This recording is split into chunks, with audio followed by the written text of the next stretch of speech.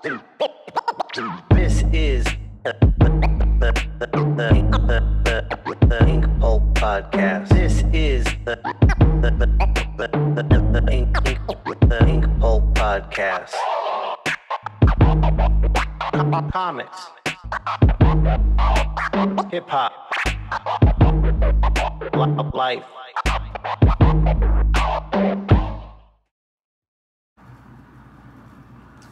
Welcome to the Ink Pulp Podcast. I'm your lovely host, Shawn Crystal. Thank you for tuning in again. If you're a repeat tuner inner, uh, if you're new to this podcast, thank you for listening. Please take a minute to head on over to Farside TV on YouTube and subscribe over there. Or if you're on Twitch, do what you got to do over there or Mixcloud. Do what you got to do over there. Uh, or go to farsidetv.com. They stream these episodes. Um, I premiere the episodes on their streaming platforms. Then I release them on my platforms. So if you go to uh, youtube.com slash inkpulp and hit subscribe, and if you're watching it, wherever you're watching it, hit like, comment, uh, and when when this is live, I've been real diligent about um, on Wednesdays being a part of the live stream. So I'm there in the chat room uh, if you got any questions. On my channel, subscribe, like, comment, do all that good stuff. Trying to build our followers. Uh, trying to grow this stuff. And then follow me on, on all my social media platforms at Inkpulp. Instagram, Twitter. Got a Facebook page and uh, TikTok. Although I'm not terribly active there, I'm still not sure what I'm doing on there. I'm an old man on TikTok. What can I say? Uh, so uh, yeah, thank you. Welcome back. I'm going to talk a little bit about balance today because it's an area I'm not proficient in. I tend to overload myself with. Um, I, don't like to call it work because it's it's. I mean, it is in the. Uh, you know, pure definition sense, but my work is is my passion, it's my love, it's my joy, and I tend to take on too much, and I think that just comes from ambition. I have a lot I want to do, and where I am in life, uh, I, I had a lot I was hoping I would have accomplished by now. So it's kind of created this backlog of stuff I still want to do. And uh, I just kind of get lost, like in the forest. Can't see the forest of the trees. Um, just constantly burying myself for a brighter future when when I can chill more, when I can work at a more reasonable pace but what I am aware of and what I'm learning and what I'm really trying to be better at is instead of living for a dream life in the future, live that way now. And honestly, some downtime, uh, some time to decompress only makes you perform better now, makes your art stronger now and that's an abstract thought. I mean, I was just raised to think work hard, work hard, work hard, and you'll succeed. And there's something to be said for downtime. And that's something I'm really working on, and I'm really not good on it. But what I realize is like you have a certain amount of mental space. It's like is your hard drive. And when I'm working on a project, my, my gray matter is, is, is working shit out when I'm not hands on. So if I'm working on a project, like say the one with the far side, when I'm at the gym or when I'm laying down at night about to fall asleep, my gray matter is just kind of working out some problems. But then I've got this um, instructional, like how to draw comics video line I'm launching, or I guess, yeah, when this comes out, I'll be launching it very shortly after. And that's called Ink Pulp Instruction. And that's a big business thing for me. I mean, I, I want to grow that thing to be massive. Uh, and the Farside Project's growing to be massive. So then my hard drive is starting to get clogged. and things stop working. It's like gears start grinding to a slower speed. And um, it, I, I start to feel this frustration, and I, it took me decades to figure out what this frustration is. And it's that there's too much going on. Then, on top of that, I'm starting another dream project.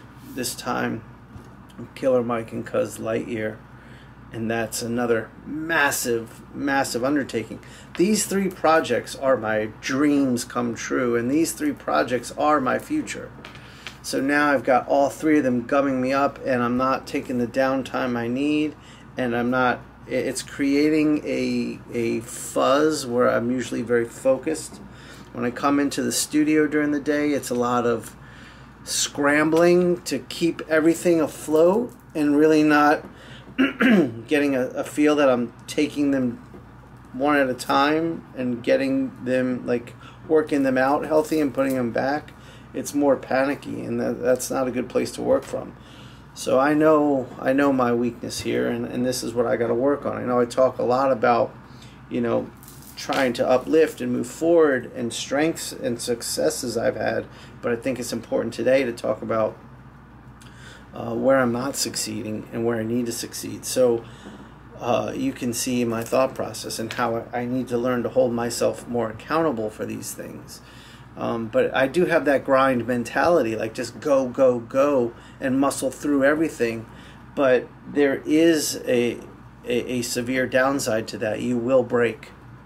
Um, you have to be strategic in in your energy use and you have to place your energies in proper areas so balance see balance got to remind myself all right enough about that um, and you know leave a comment down below let's talk about this shit um, and also this is another another big thing on that so when my balance is out of whack my frequency, which vibes high, I'm talking about that, dips.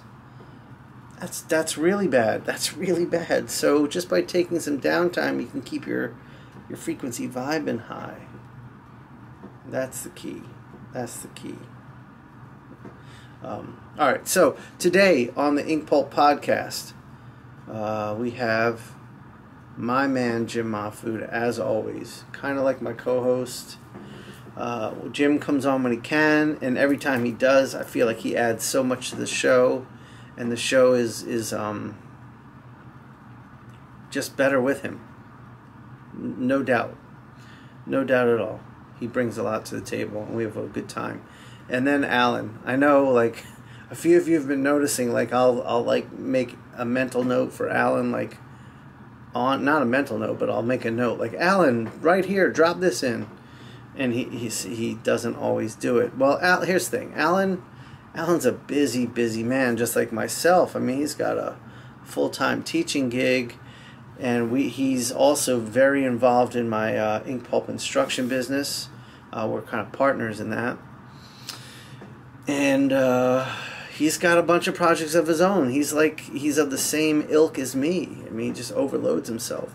So this podcast is another thing he does with me. It makes it doesn't make us money, but he puts a lot of time into it. So he at times will just you know not listen to the whole episode and just put it through the system and let it do its work and it's playing in the background while he's working and he won't might not pick up on everything so be easy on alan because without him this doesn't happen.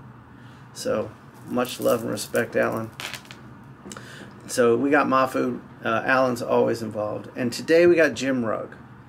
Uh, Jim Rugg is a fellow comic book artist, um, someone who's been very inspiring to me as of late. As you know, I've really switched my mind to being a completely independent artist, and I'm and I'm paying much more attention to those artists that have been successful at that and learning from them. And Jim is one of them.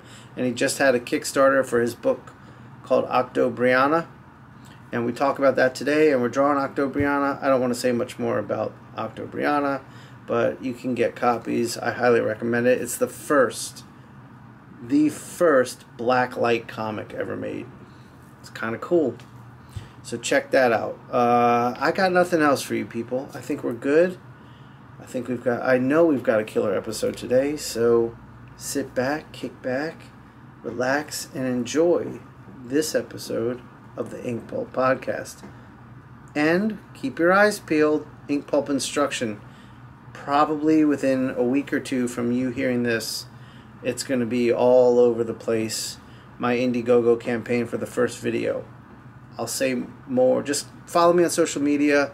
All the teasers, all the explanations, everything will be there.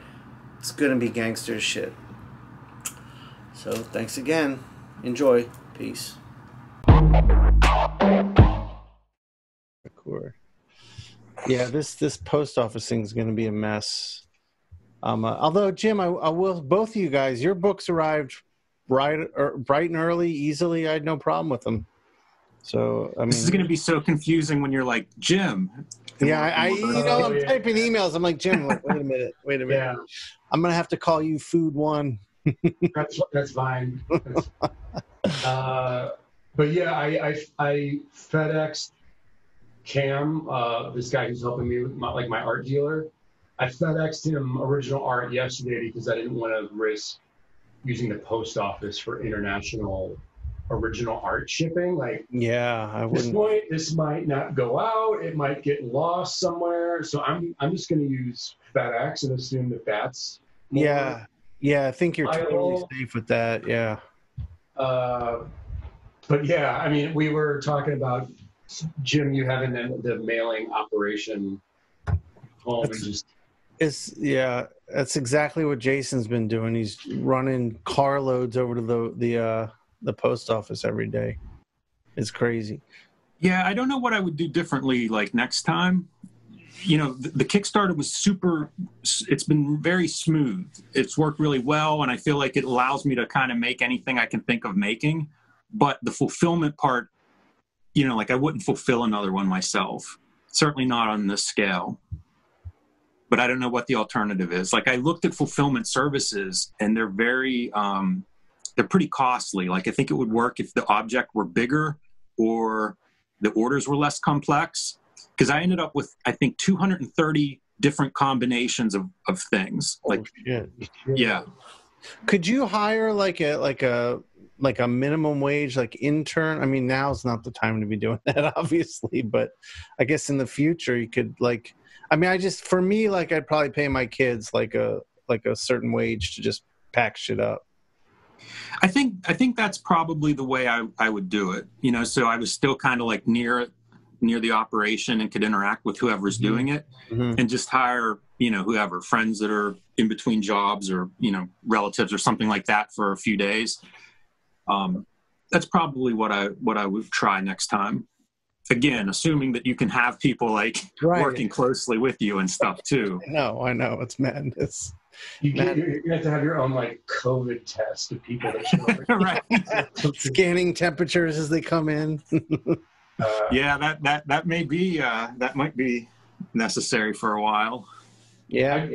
I, I just got lucky with like our pop-up book because my buddy ross who owns proposition press he handles the distribution of the book through our Kickstarter. So it's like he has a house in Colorado set up with like the garage and the basement with just tables, and he's assembling these packages with the help of other people. And it's actually like an operation out of his house, man. It's like fully let's, happening. Let's plug your book here, Jim. Pop yeah. up funk. This book is awesome. That's amazing ridiculous. Dude, that is so cool. Yeah, thank you. And did you print extras? Like, can people order them? Yeah, you can still get it at uh, popupfunk.com. Um, and yeah, we also ship it directly out to people. So we definitely overprinted, but we, uh, I, you know, we overprinted thinking that there there was going to be conventions. And, yeah, yeah, I know, I know. I don't know when that'll happen again, but it's like, well, we still have books that people can buy right. through the website. So if you missed the Kickstarter, the Kickstarter though, you had all the incentives of like you get all the extra like, goodies and stuff like that. Yeah, yeah. The shirt I got was red too. And Oh, yeah. Jim, what about uh, Jim Rugg? Your book, Octobriana. Do you printed extras, I I assume, and is Ad House putting putting those out? Yeah, they'll be coming out even like through comic book shops relatively soon. Like they're uh, available available to order right now through comic shops to pre-order. Um, I don't think I'm selling them anywhere online at the moment because I am in the middle of fulfillment. But once Sure. you know, once I send everything out to the Kickstarter backers, um, whatever's left over, then I'll put up online. But you know, they're going to go through comic shops and stuff. If if people miss Kickstarter or if they don't, you know, want to use Kickstarter for whatever reason, they'll be able to get them, you know, wherever they get comics normally. All right, That's cool. awesome. So Chris at Ad House did that through Diamond. Yes. Okay. That's awesome. All right, you And that way guys. you don't you don't upset retailers. I mean, not that they would be upset, but um, you know, you know what I mean. It's like a weird thing of making a new comic, and then sometimes retailers are like, "So we don't get the book, or how does this work?" You know? Yeah, I, I don't know if it's like the circumstances. I haven't heard anything from retailers Right. to that effect, but it could be because they have bigger fish to fry at the moment. Um, several retailers reached out to me though because a lot of Kickstarters will have that retailer level where I was going like, to you ask know, you about that. Yeah, yeah. and I talked to I have lots of friends that run comic shops, so I talked to them about what they would want in a Kickstarter, you know, like a like a retailer level package or whatever.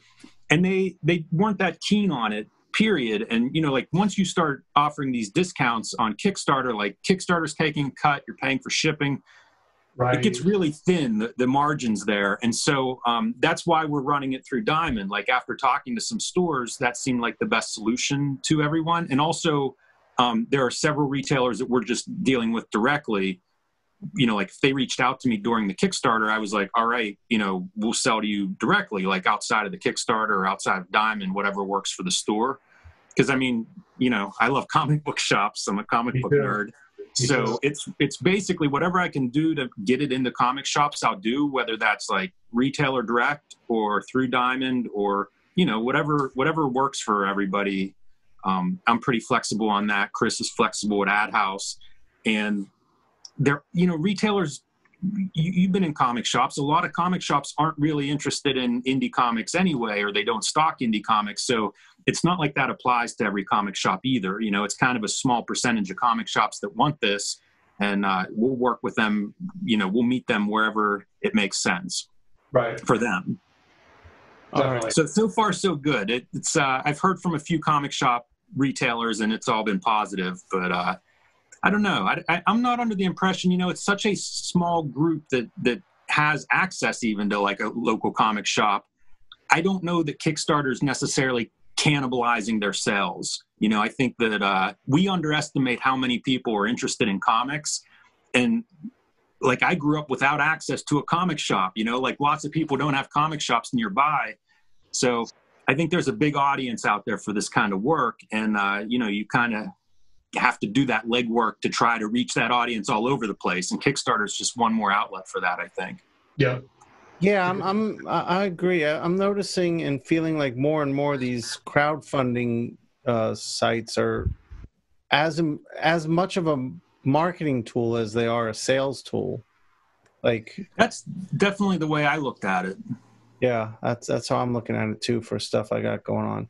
All right, so let's do this. You guys want to switch over to the to the art jam session of this, and and we'll Sure. keep the talk going. Yeah. Sounds it. good. All right, so today we're uh I mean we have Jim Rugg on obviously and my man Mahfood, but we're gonna be drawing Octobriana from Jim Rugg's comic Octobriana. So Very let me switch over to mine. I've already started my uh painting of her. You're a cheater, Shawn. Dude, Oh, man. I, I mean I'm not gonna get it done during the show. So. but yeah, I've got plans. I've got plans for this. Nice. And Jim, you're starting to scrap both Jims or Jim I Rugg. You too. have a pencil drawing done, correct? Is that- I oh my yeah. god, that's awesome. She's with a walrus. She is, yeah. That's one of the uh, one of the original Octobriana stories, she fights like a giant uh, radiated walrus, mutated giant walrus. So Right. Kind of like uh, I like drawing walruses anyway, and this is a good excuse for it. That's awesome, man. All right. So on that note, uh, Jim Rugg, t- tell us the uh, origins of inspiration for Octobriana.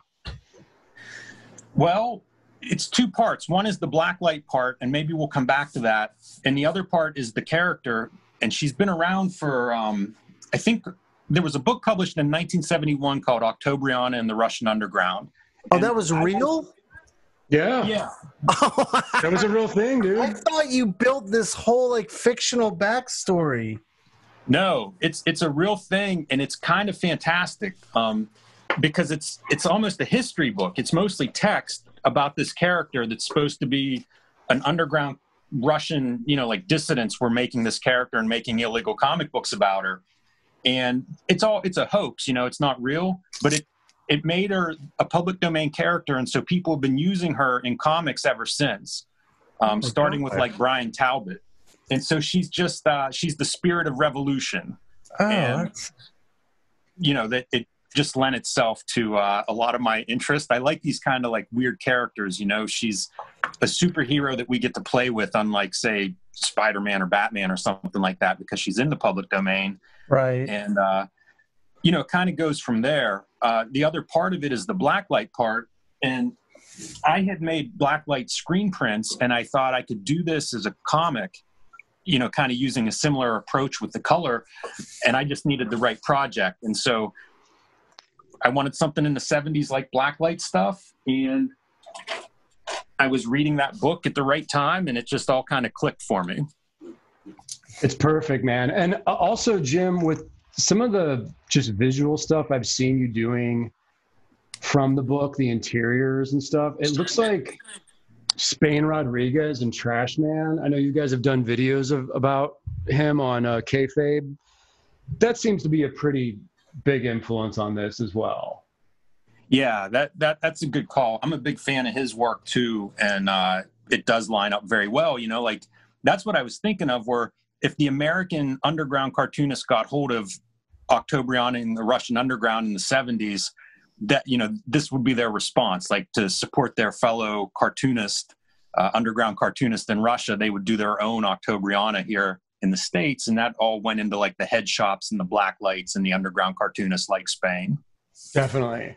I just got this one the other last week, dude. Uh, Subvert Oh. Comics issue two. It's a second printing, but I have all the Trashman stuff collected through Fantagraphics. But I've been finding some of the individual issues of Sub Subvert out here. Portland has like really, really good comic shops for back issues. So I kind of want, you know, I'm on this thing of like, I just want the individual issues as well. Because they've There's got every, something really cool about those, you know, like having Yeah. the real paper and everything. yeah. Uh, guys, real quick, just back up one second. Educate me a little bit and maybe some of the audience on Subvert Comics. Jim, do you want to take that? Um, yeah, Subvert Comics was Spain Rodriguez's underground comic. So, you know, like some of these bigger underground cartoonists had their own titles that were, you know, a lot of them were anthologies, but some of them had their own titles that were their own characters. And Subvert Comics was his character Trashman, that was like a revolutionary underground, um, weirdly almost like part superhero, but but clearly in the underground political sense of the word and uh, another revolutionary character, much like Octobriana. It'd be a perfect team up, those two, actually. Oh yeah. And so yeah. I think three issues were published, but there's also a Trashman tabloid sized newsprint collection. And a lot of those, some of those comics are original for the comics, and then some of them are collected from anthologies where it would appear, like um, the East Village. I think the East Village Other is where those used to run. We've covered a lot of this on Cartoonist Kayfabe, believe it or not. Um, Yeah. you know, but it, these comics have like quite a history for that that kind of thing, and they were pretty widely seen because they would appear in these alt like tabloid news newspapers. Um, you know, like like people would pick them up for for the news part, you know, for the articles, and there would be these underground comic strips. Um, you know, so they were pretty the widely 70s seen. You guys are talking about? Yeah, mostly the '70s. Yeah, early 70s, Shawn. I think this this issue is like um 72. Okay. Okay. Um, Awesome. Um, and then uh, Jim Rugg, real, real quick, just for some, I mean, I I doubt this is the case, but for anyone who may not know that listens to this, talk about uh, kayfabe real quick and, and let them know what that is.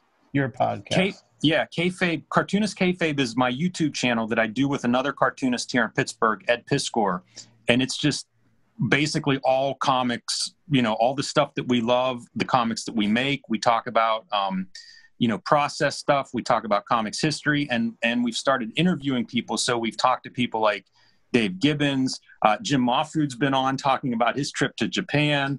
Uh, you know, it's just it's basically our love of comics, and of course, you know, there's a lot we love about comics. So it covers a pretty wide uh, set of topics and books, and it goes from like we started out talking about Wizard magazine in the '90s, and so there's a lot of uh, '90s comics talk, but there's other stuff too, like underground coverage, manga.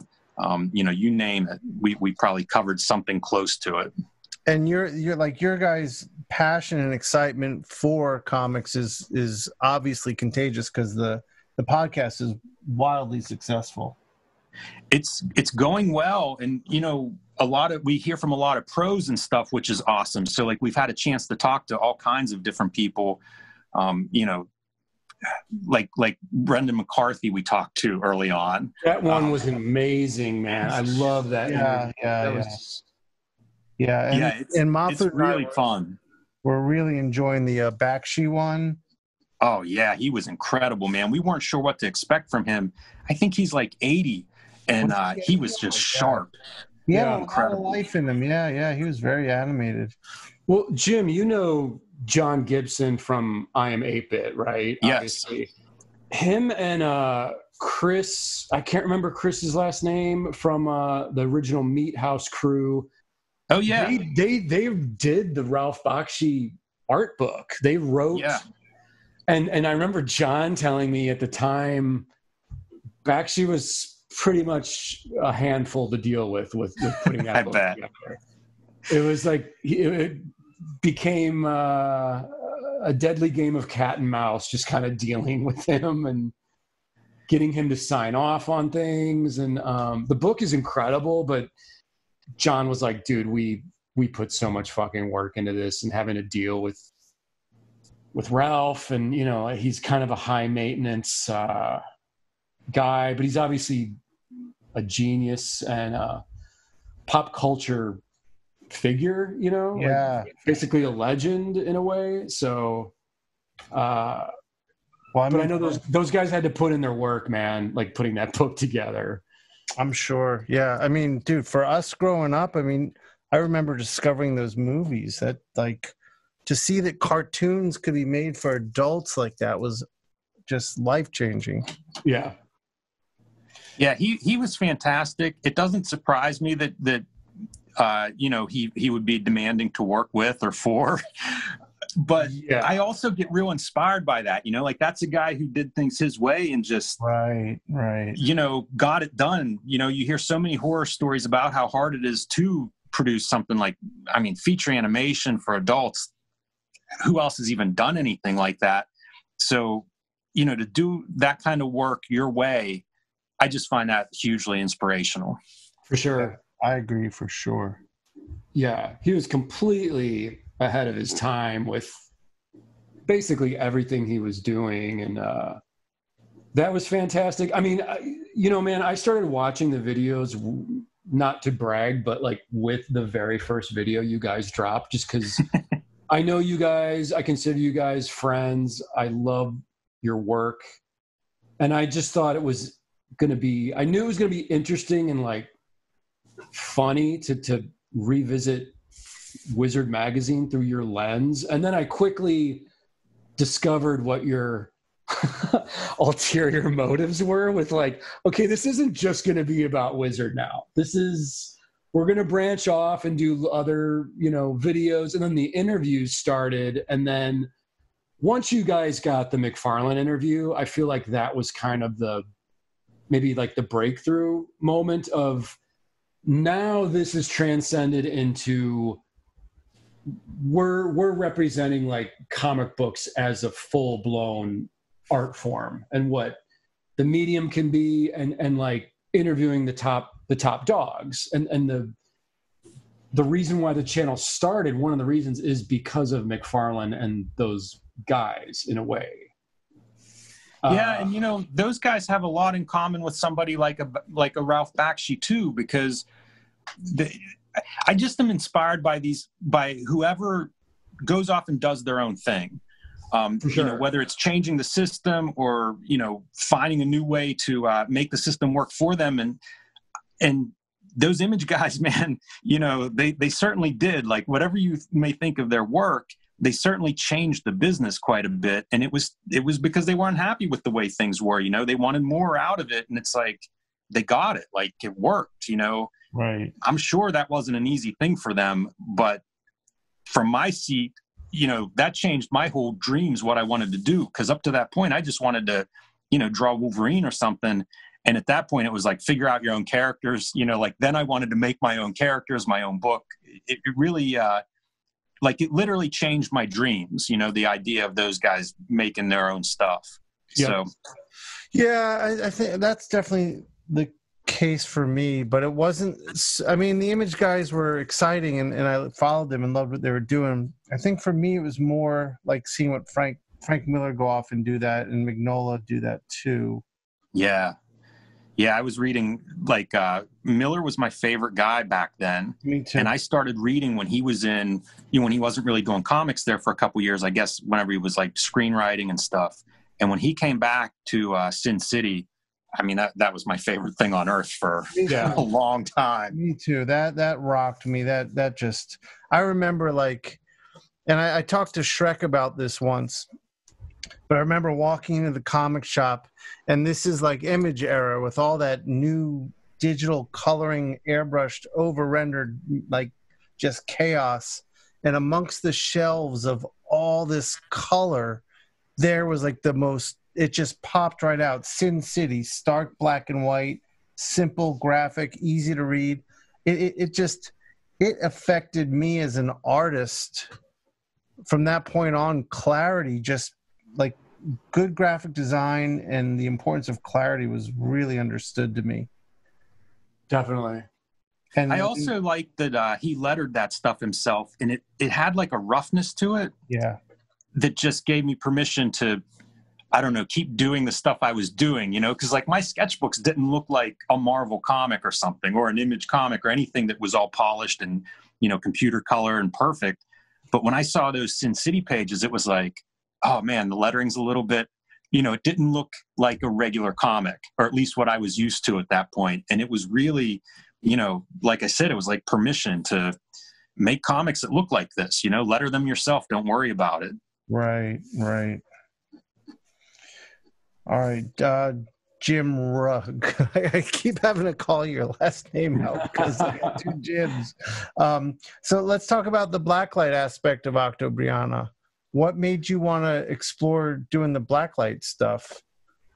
I made uh, I, I, make a lot of different stuff. So like I made some screen prints. Um, right, right. I can't remember what year it was, but they were blacklight screen prints. You know, it was like somebody had given me a chance to do a screen print, and they're like, "You can do you know whatever ink you want and stuff." And you realize like the blacklight is just it's fluorescent ink is right. pretty much the secret to the blacklight. And so uh, that's what I did. And whenever the prints came back from the printer, I was amazed by the color. Like it was the greatest color I think I'd ever seen on anything. And so you know like my first idea then of course is make a comic with this. And it was purely because um you know like i color my own comics and stuff so i'm i'm always looking at palettes and you know thinking of whatever looks good you know color wise and as soon as i saw those fluorescent inks man i fell in love and it was just a matter of like find some way to do this in a comic. Mm. and the more i researched it no you know like i figured there would be underground comics that were printed that way. I couldn't find any you know like nobody really had done it. And so that's even better you know get right, to do it right. first is like all right yeah i was going to ask if that excited you even more. Oh man that's my favorite stuff in the world is whenever i decide i want something and i can't find it it's the perfect thing because then it's like make it yourself.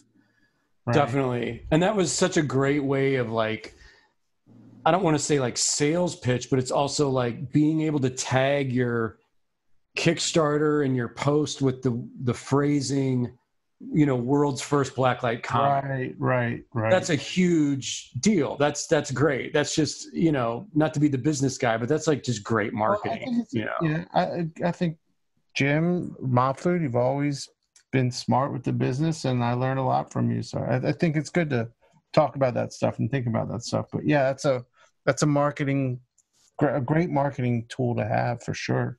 yeah.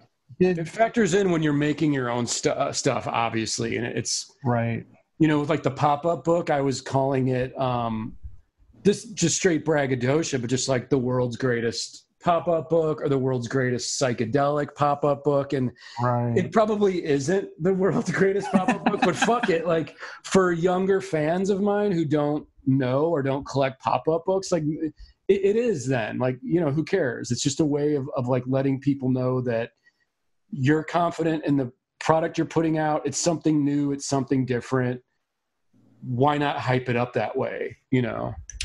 yeah, I Yeah, I, I agree hundred percent. Like so many cartoonists, you know, we we kind of sit around with our with our heads down, mumbling or whatever, and it's like, you know, if you look around at how other things are sold, movies, you know, whatever it is, no, you you, kind of have to put on that salesman hat. Um, it's Definitely. just it's, it's how you get the word out. And and Jim, like how much has things have things changed just this year alone with obviously, you know, what's going on, no conventions, whatever. It's like cartoonists now more than ever are being forced to turn themselves into somewhat outgoing, charismatic people that can go online, make videos, post on social media, and be interesting, be unique, but then still have to deliver the goods as far as making the artwork, the product, the comics. Now you have to be like a guy that can also make videos and be interesting and charismatic. And I think that's got some cartoonists in a panic. Um, and I understand why. I think all of us here are good. I know Eddie P is good. Cartoonist Kayfabe is good. Skottie Young is good. oh, Skottie. But there, but there are certain people that are just like, yeah, I can't become like a personality now and have to make videos and all this other shit. Like I'm, I'm barely getting my work done every day in my studio. Now I'm supposed to go out and buy mics and cameras and all this shit. Like this is a whole Right. new right. it's like a whole new era we're entering now. Um, I, I think it's I think it's offering people like us a, a new tool to use. I, I don't know that I, I'd say it's essential. It's certainly like effective, and uh, if you're comfortable with it, it's it's like to do this. Like I'd be in here drawing anyway, but to talk to you guys while we're drawing, it's easy to incorporate into my daily stuff yeah. but yeah i mean i guess one thing one reason i i, I was hoping to get jim rugg on and also reached out to ed um, is like i've been trying to figure out how to survive financially while getting out of the freelance world and into the independent world where i feel more comfortable and more interested in, in working in. And uh, I mean, Mahfood, you've been a big. I've I've told you this. You've been a big help and a big inspiration. I've learned a lot from you. But I, I'm interested in learning more and more of how people do this. Uh, so that's kind of an ulterior motive to oh, sure. having Jim Rugg on today was to to talk about that stuff. But so Jim you, Rugg, you're uh, uh, so Octobriana is the newest thing you've done, and that was a successful Kickstarter. A real to me, it seemed like a really successful Kickstarter. Do- yeah, that's that fair. Yeah. Um, what were your expectations going in? You know, I, I? I try to keep it pretty open because it's the first time I've done a Kickstarter. So, um, you know, part of the reason that I worked with AdHouse Books was this. A lot of the stuff I do, it's like it's going to happen regardless of whether you know like the kickstarter works or whatever like this book was going to get made and uh, I, I try to kind of like you know not be dependent on it so if if it doesn't work well i wouldn't be in trouble Right. Um, you know and, and like everything you're saying Shawn i agree with you know in terms of like cartoonists making these transitions promoting themselves figuring out how to promote themselves learning to make videos if that's the direction they go. And i kind of approached the kickstarter the same way. Like it was something new for me. I love doing new stuff anyway. And uh, it's something that i've wanted to do for like 10 years. So i didn't really know what to expect from it um, i think my goal was like $5000 was my initial uh, goal for it and we ended up doing i think around 95000 Yeah, yeah. um, Amazing, man. Amazing. and and I, I made mistakes like i accidentally launched it 10 days earlier than i planned on launching it be- because i'm stupid or you know like I, like technologically i'm i'm challenged like uh, a lot of probably uh, older cartoonists feel. So you and, hit the um, launch button by accident? well there there was an approval thing. I thought i needed to do Right. it to like get it set up so i could send out uh, previews to some of the people that you know like like i'm talking to about it and i wanted them to kind of look at it. And i thought that's what i was doing but it actually went live Uh, uh, early. And there, there were things that i wasn't ready for so i just you know I, I decided to leave it live and just continue doing all the preparation stuff that i had planned to do anyway. And uh, you know it so there were there were these little things that kind of went wrong but ultimately worked out in the end. Um, but I, I any of this stuff like i just try to keep an open mind as much as possible and, and look at it almost like you get a new brush or something and you're just Right. going to play with it and that was a lot of what kickstarter was for me. Like i like i said i've been wanting to do it because it was new distribution model just something new to try and i didn't have the right project until this time. So that's kind of how i approach all this stuff including the video. Like whenever we started cartoonist kayfabe it was just like well you know let's make it fun for us you know talk about comics we want to talk about you know subject that we're interested in part of the reason we started it was because we would go to conventions together and just talk comics all weekend, you know, on the ride there, uh, at the convention, on the ride home. And we would always joke about like this, you know, this would be a podcast or something. And uh, it just kind of sprung up like right time, right place. And then the rest of it is we don't know exactly how this is going to go, but if it's fun to do it, you know, that'll sustain us until we kind of figure out what we're doing. Right. Um, and you know, I mean, it's it's it's kind of making art. You know, like I always just want to draw what I want to draw, and you know, do stories that I think are going to be fun to make. I, I try to apply that to as much in my life as I can, and a lot of stuff fits that. You know, Yeah. it's it's, uh, it's the reason we all started making art, and then at some point it becomes a job, and you can get you know it can become overwhelming if you're if you lose track of that fun part i think and that's what that's that's my story right there. I, I, I got all wrapped up in it, lost track of the fun part, and now I'm I'm getting back to it. But my, I mean, this podcast was born out of the same idea. I was like, I sit around at these conventions and like we'll all get together afterwards and have these really interesting conversations, and I felt like that's something I could I could do. Um, I wanted to ask you: Did you decide to do the Kickstarter? before COVID hit? No, no. The plan was I had two, uh, like two big books came out late last year and early this year. The um, the Plain Janes, which was my young adult graphic novel, uh, came out in January, I want to say, and then um, Street Angel, Deadliest Girl Alive came out in November last year. And so I had like a really full show schedule planned this year. You know, like I was going to be on the road a lot promoting those books Right. and uh, and the and the plan was I was going to do Octobriana without anyone knowing, and then just show up with it at shows. So it would be like a surprise for you know people that came out to see me. And whenever COVID happened, you know, like we had already figured it out with the printer. We were just about ready to to go with it whenever COVID shut everything down. Okay. And at that point, it was like, hmm, you know, what to do. And Kickstarter, I saw was like still going well in terms of, um, you know, people investing in in the different projects, but they didn't have as many projects going up live. And so, you know, it just it just worked out. Like it just uh, all these things kind of happened almost at the same time, and it was weird to say perfect timing, but I had a finished project it fit you know it, it kind of fit because it's a comic book you know it wasn't like a big 200 page book that i could really mess up you know uh, right, right. if it didn't right. fund or something it just seemed like it was a good size to try it out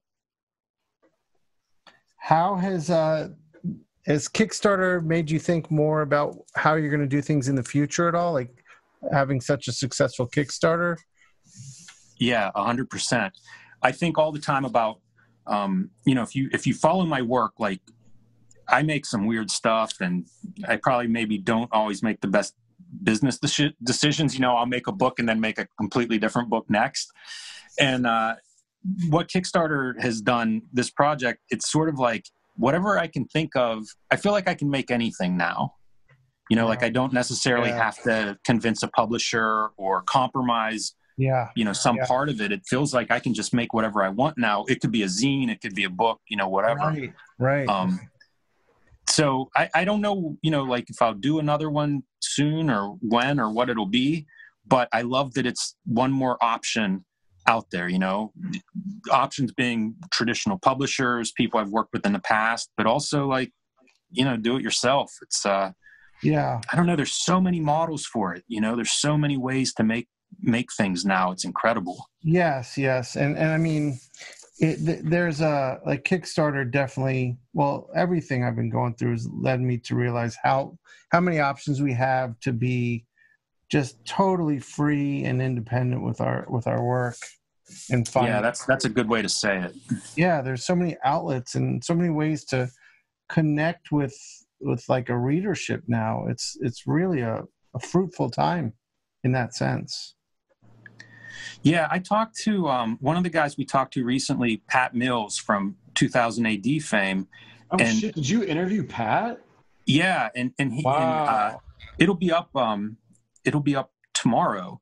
oh, and, okay. uh, okay. Nice. Wow. He was talking about, uh, you know, putting the reader first, and I, I think that people lose track of that. You know, like like I, I don't always hear people having that conversation or saying that. You know, like like thinking about your readers, but we are so close to them now. You know, Howard Chaykin said something about that whenever we interviewed him, and this idea of like we're just more connected, I think, to our readers than we've ever been. And there's something great about that. I agree. You know, it gives us a lot of freedom in terms of what we want to make and, you know, just, just having that readership. It's, it's, it's incredible. It's very freeing. Yeah, yeah, yeah. That's exactly how I'm feeling. Um, That's I want- awesome. man. let me let me see what everyone's doing real quick. Let's take an art check in. Mahfood, speak so I can see your thing. Yeah, yeah, yeah. Oh Uh, shit, you're almost done. I'm just doing Yeah, that's straight- incredible. Straight to ink. Uh, Octobriana posing with her weapons and a gun and a strange psychedelic skull over here. That's so awesome, man. It's like my warm up for the day, you know. That's awesome. And I can't Jim, believe how you can just go straight to ink like that. It's amazing. it really is. It really is. Sometimes this fails miserably, though. Sometimes it's it's not recommended for amateurs, you know. I was uh, packing up an art book yesterday for a, a rapper friend, and I, I was like, let me do a little sketch on the outside like Jim would do. And I just, I was lost at sea with this pen on this on this package. I was like, how the fuck does he do that? Oh, yeah. And then Jim Rugg. Let me. So Jim Rugg, I see you using a Raphael eighty four oh four. Yes. What uh, I am. What size do you like to use there? This is a number two. Yeah, Um, that's what I use. I'll be honest though, I, I don't I work with a lot of different stuff. Like I'm doing this partially because, you know, I feel like your show is about inking sort of or drawing with ink. it's And good. so that's part of why I'm doing it this way. Um, okay. but I don't do a ton of inking. Like most of Octobriana I actually did with markers uh, on a light box over the roughs. Oh, Really? Okay. okay. Yeah. Wow. Um, wow. you know so it really depends on the project like i knew how that project was going to go from from early on in terms of like color and production and so this step was just one step to get to like you know the the, the finishing point um, which the color was such a big part of. So i drew it relatively quickly in that regard but it, it rained you know like it changes for everything i do. I did a bunch of um octobriana drawings for uh like different kickstarter backers and i did them with ink and markers and paint and ballpoint pens and pencils and colored pencils and stuff. So you know i bounce around a lot with materials. Like that's one of the other things that has changed a lot since i started making comics is we can reproduce anything. Yep. and so I, I don't i'm not that set on uh like black ink on on paper as i used to be. Right. but i but i did i did for a long time love it you know and i learned to use these brushes because i, I admired all these inkers um, so it's it's still something i enjoy from time to time but it's not my i don't really have a standard way of working anymore That's awesome. Yeah, uh, that, that's actually a question I wanted to ask you. So, stylistically, do you, do you approach every project differently? I mean, like Octobriana doesn't look at all like Street Angel to me. Yeah, total, totally different. Um, and if you if you have like the uh, image collection of Street Angel, you'll see even those stories from story to story change. Some are in ink. One is completely digital from my iPad. Uh, some are in pencil. You know, so I, I just I like I like everything. so it just Right. it depends on the story and it depends on my mood. But like it almost like the hand that drew Octobriana looks different to me than the hand that drew Street Angel. Was that was that intentional? Do you see that? Um, I don't know if I see that that much. You know, it's a very graphic style. the, that blacklight style. So, you know, I think stylistically, it's it's very different than the Street Angel stuff because the Street Angel stuff, it's a much more open line. right. It's about, um, you know, like the color. It's funny because they're both color projects, but the color is so different. The approach to color is so different between Street Angel and Octobriana. So, I mean, I don't know. You know, it's it. it I, I do bounce around style wise, but I drew it, so I, I kind of, you know, like it feels like me to me. Even I if mean, it's a little bit reading it, reading it, it definitely feels like you. Yeah, I'm. I'm not saying it doesn't feel like you. It just, I was kind of like, wow, what a cool idea to like. I, I don't know if I'd have the balls to just flip it up like that, but that might just be me seeing that. Um, and I, I and some of it Go ahead. is go ahead. is probably based on the color. You know, like That's the black light effect. You really need. I, I think you really need a lot of black uh, to make that work. And so, you know, it's it's a very heavy, heavy style in, in terms of how much ink is on a page. So, you know, that might be where you're seeing a lot of difference is that approach Yeah, to like could spotting blacks and That could be, Yeah. and that, that's what I was going to ask you next was that exact question. Because, like, as I'm working on this Octobriana piece, like, I'd planned on doing a painting, and I was like, I want to kind of make sure the painting feels like it's set in the world that you created for this book. And then I like I've spent the past three days in my head like, how the fuck am I going to color like paint this? I mean, I have like I have some paints like Holbein makes a color called opera, which is that pink that I see in the book, and and I have the blues. I'm just how uh, how do you decide how to do this and and make it look cool or make it work? Was it just something you figured out on the fly? um like making those colors all work because because i mean i could see how that could go horribly wrong with all these bright fluorescent colors could create like a visual chaos that would be really difficult to read but you did not do that Yeah, I mean, you know, it's colored. I color it digitally, so it's pretty forgiving. Like unlike paint, Right. you know, I, I can color it, and, and if it doesn't work, I can get a sense that it's not working on the screen, and very, very easily change that Right. and make adjustments. And you know, I certainly did. It's funny if you if you kind of um, I, I did a couple of other editions. You know, I did one that's like retro color, right and uh, it's it's closely based on the the black light but you'll see like there are different spots where i'm i'm changing colors you know like I, I change colors you know each time i would go through and proof it i might be like oh you know what that background should be different or the foreground should be different you know so like right i noticed it, that it's certainly not an exact science um Right. you know you just kind of go with how you feel that day and I, I think a lot of cartoonists are perfectionists, and, and I am too. I'm very obsessed with stuff that I, I'm not sure anybody even notices. right But I try to uh, not be that way because I, I think it leads to unhappiness. Yeah. And yeah. so with a lot of this stuff, I just, you know, I've, I've, I understand that there isn't a right and wrong for how to color something like that. I mean, there might be something that's obviously wrong, but you know, if you're killing yourself trying to decide between orange and pink, maybe maybe move on. like, right, right. You know, that's a good point. Let me uh, actually. That's an interesting point you just raised. Perfection leads to unhappiness. It, explain why you think that is. Because of what I just said, like there's just not a clear you know like the binary system of, of right wrong or this is this is perfect this isn't it doesn't apply to a lot of stuff and it certainly right. doesn't apply to a lot in the art world you know we're going to end up at the end of this episode with three cool looking pieces of octobriana that don't look at all alike. Right. and you know you don't look at them and be like well you know Shawn did this part wrong and jim did this part wrong or whatever. It's like there isn't an, a one answer for art you know and if you're seeking perfection or whatever that's what you're looking for is the right answer right. What happens if there's no right answer? Now what do you you know you, you drive yourself crazy looking for this thing that doesn't exist. Right right.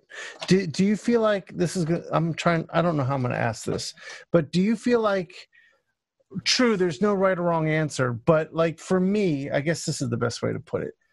For me like the the process and the journey of, of creating art for me is I have this idea in my head of what I really want to communicate and what I want to learn in the act of figuring out how to communicate that idea.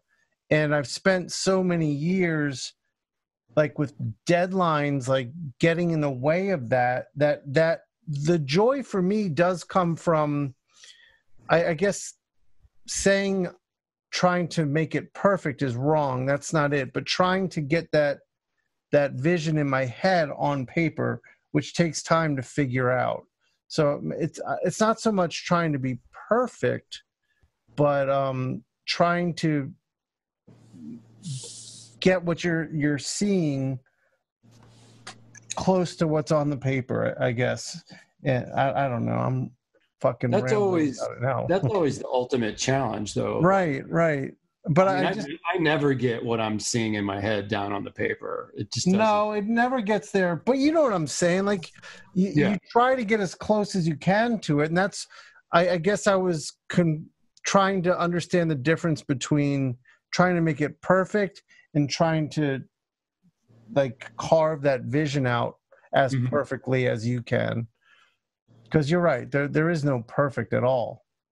I, I think it's important to. Um, I teach a little bit, so like you know, I'll see certain patterns repeated with students, and then of course I'll see them in myself, and, right, and try to learn right. from that. And right. you know, like that's where I would see a lot of these ideas that I'm talking about in terms of perfection.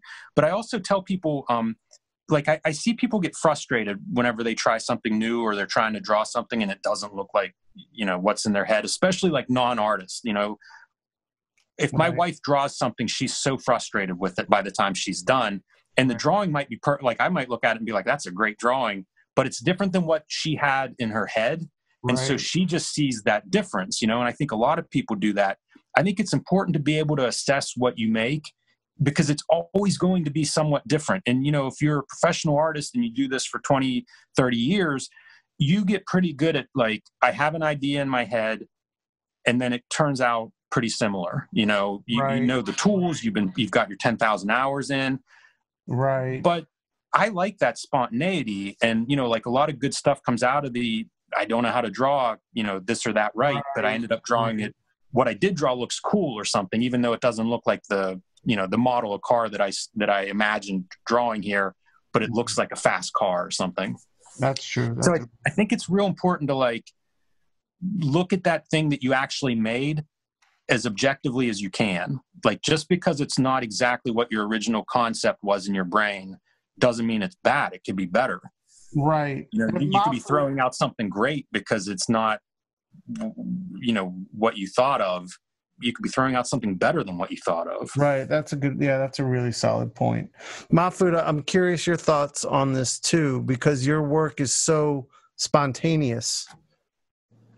Yeah, I, I mean I um I actually enjoy the image not coming out like I imagine it in my mind because that surprise, that um, spontaneity is sort of the whole point of the working process for me, you know. So, So do you not? I mean, do you have a vision?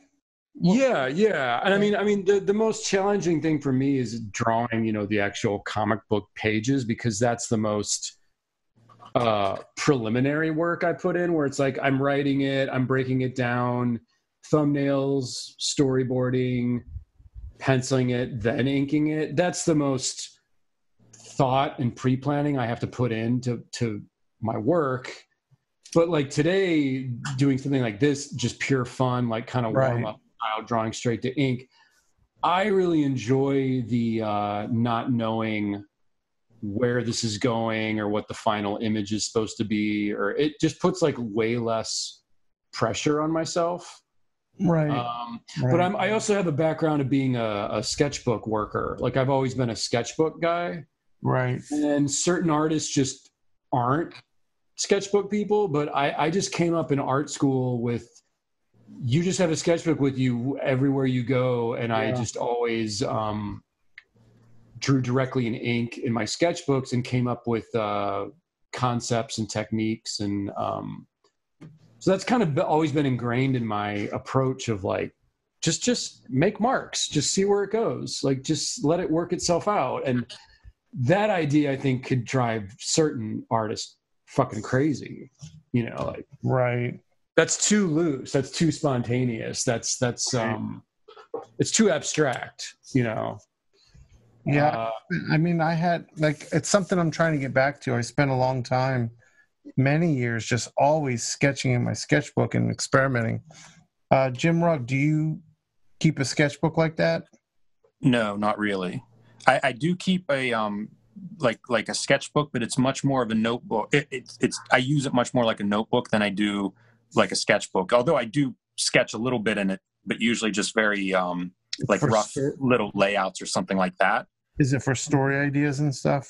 A lot more story ideas. A lot of just you know day to day like my list of what I'm doing or what I need to do or notes from a meeting and stuff like that. You know, like it's Right. it's just a handy place to organize information for me and i do sketch in it a little bit but not you know like you see guys with these beautiful sketchbooks that is Right. not what i have it's mostly illegible notes Let me ask you because I see you're working. You were just working on the pants a little bit. Um, is there a? Do you have a definitive design for Octobriana? Like, so like I remember some pals where she was in like these leopard skin pants, and then somewhere she wasn't. yeah um I, I do try to put her in snakeskin pants Yes, that's what. yes, Um, snakeskin. Yes, yes, that's what it was. but I, I don't have a particular like snake i'm trying out a new snake pattern here today Okay, okay. uh, nice nice you know I mean, I asked because I want to put her in some. Well, go ahead. Go ahead. one of the things that um that Jim mentioned, you know, like all the planning and and, and kind of stuff, I struggle with that sometimes, especially because you know, like like him, I I pencil I usually do everything myself. So you know, in the course of making a comics page, that means looking at it in rough form, thinking about it whenever I'm writing it or something, looking at it in roughs, looking at it in pencils, looking at it in inks and in colors, and it can get really tedious. Right. So, you know, the spontaneity or, you know, leaving some of this stuff out so that I can fill it in, you know, maybe when I'm inking or whatever, it's really helpful to me to stay engaged with it. Uh, you know, if, if it is like, if you saw my pencils, they're so rough.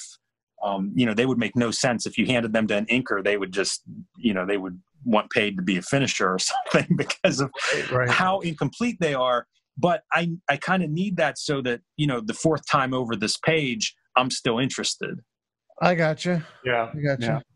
I could see that. Yeah, it's uh it's interesting that everyone has their own approach to all to this kind of stuff, you know. And by the way my approach was different on the last book than it will be on the next one and it was Sure. certainly different you know five years ago and just from this conversation like you know you you pick up these little ideas that are like oh maybe you know maybe i'll try that part out Right. So then, ex- you you mentioned briefly your process on Octobriana was you did some pretty rough, uh, like would you call them thumbnails, and then you inked on a light box right from those?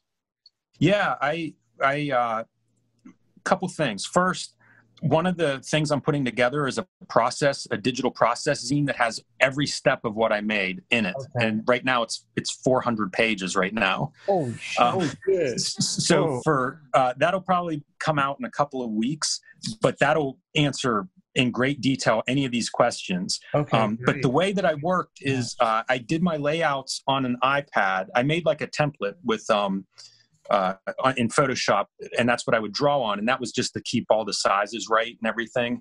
And then I would very loosely do my layouts on on my iPad, and then print that out, and then lightbox that. So, you know, like it's, it's very loose pencils, and I don't have them around here easily. Maybe if, if I get up, I'll grab some and show them to you. Okay, um, but they're very loose you know depending on the information. Like whenever i pencil it's kind of like if i know how to draw whatever it is like it might just be a line you know like an outline or sh- just to have the shape down.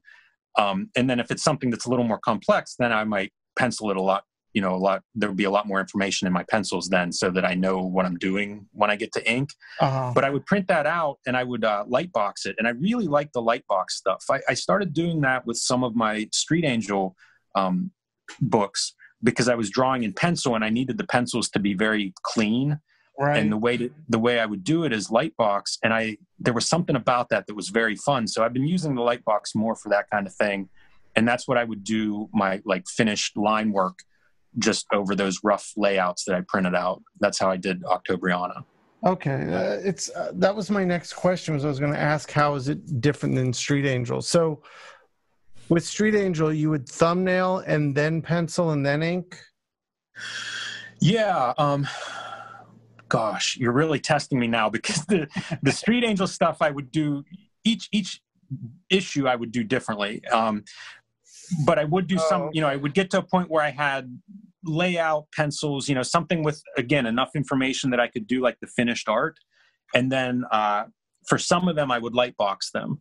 You know, with that like rough pencils, uh, basically Right. put a clean sheet on top, and then that's where I would do my finished drawing. Okay. Okay. Nice. And that was with pencil. Okay. Like if I'm inking, usually I'm I'm you know like this. I usually have some marks on the page, like some pencils or something. Okay. Um, where Jim Rugg? Let me ask you, where you are you from? You live in the Pittsburgh area now. Is that correct? Yeah, I grew up near here, like an hour Okay. south of here. It was Okay. rural, but it's basically the same area, southwestern Pennsylvania. Okay, because I hear in your voice an accent that sounds familiar to me, and because I most of my life was spent outside of Baltimore, and I yeah, that makes like- sense. Yeah, I mean, I hear it. It's like in Philly, I hear it. In areas of Delaware, I hear it, and in Baltimore, and it changes a little bit. But there's there's some words that are unmistakably that area. That's what I was asking. and Jim, you said you didn't have uh, access to a comic shop as a kid, right? So you were just like a newsstand, grocery Right. store kind of thing, kind of situation. Drugstores, uh, flea market is where I started finding stuff that was a little better than the spinner rack because there there was a guy that that was like um the baseball card market had had turned into like a comic book market so Oh, yeah. i would find guys at a flea market that would have some decent stuff Nice. Okay. Mahfood, you, you know all about those flea markets. I love them. You've told some love good stories Oh man. about your pops at the flea market. Yeah. Well, that. Yeah. I mean, I've told these stories before, but St. Louis, where I grew up, like we didn't have we the comic convention we had. I say that like in quotations. It was just a swap meet style show. You know. Oh, so that was a convention you were talking about? Yeah, yeah, but but I mean, it really God. wasn't a convention. Right, right. But just I didn't even know what a convention was till I was like 20. Yeah, I mean these these were called uh, the Colping House Convention, and uh, it was just a St. Louis like swap meet at a Shriners Hall, Sundays only. Like I think four times a year, Wow. and, and it was guys just set up with like you know folding tables, uh, selling old comics. But that's how conventions started. Like that's that's what they were. Yeah, I mean, my first convention I went to in DC was that. yeah. It was, uh, but man, I mean, at the time I was collecting um, GI Joe and Ninja Turtles comics, and that's the place where I would find back issues of all that stuff. Right. and and that's where you know my dad would be like the crazy guy and and be uh negotiating jim my dad used to like scare awkward nerdy comic book uh kids at these shows and like can you know negotiate with them and, and get me these incredible deals on comics That's amazing, man. you know, I would have like a stack of books that were like 50 bucks and my dad would just like pop out of nowhere and and and grab the books and be like, "We got we got 50 bucks here of books. We'll give you $10 in cash for this right now." And the the kid selling the comics would be like, "Uh, but it's like it's like 50." My dad's like, "Yeah, yeah, we're we're not paying that. We'll give you 10." And then they would start negotiating and then my they would finally give up and i would get the books for like 20 bucks as opposed to 50 so Man, that's my dad my dad was like a, a crazy i mean he's still alive he's awesome but he's a he's a cr- back in the day he was a crazy middle eastern like salesman type guy and his whole thing was like you don't you don't pay what they're asking you negotiate. That's the whole point. Right. like that's the whole point of this open market like swap meet thing is they list these prices and then you say no to all these prices. You just throw out your own like crazy ridiculous offer. And most of these guys were so awkward and uncomfortable by this like middle eastern man yelling at them that they would sort of give up halfway through the negotiation and be like, okay, 20, that's fine, whatever. And then they'd look at me like, just get your comics and your fucking crazy dad and get out of here. and so, pretty dude, I made I, that's how I completed my collections, man, of G.I. Joe and the original Mirage Studios Ninja Turtles run. Which Jim, I know the all the, the the Ninja Turtles especially have a soft spot spot in your heart, and Ed's as well. Let, Uh, let me show you how near and dear they are to my heart. Oh shit! Oh, that's great. Is that brand new? Yeah. Wow, that looks. Uh, dude, show that again real quick. real quick. That that's fantastic. yeah, that's awesome. Oh, that's great, dude. It looks like you had so much fun doing that. Very fun. Yeah, Yeah, yeah, those characters are awesome to draw. Yeah. Yeah, I think That's that's fantastic, man.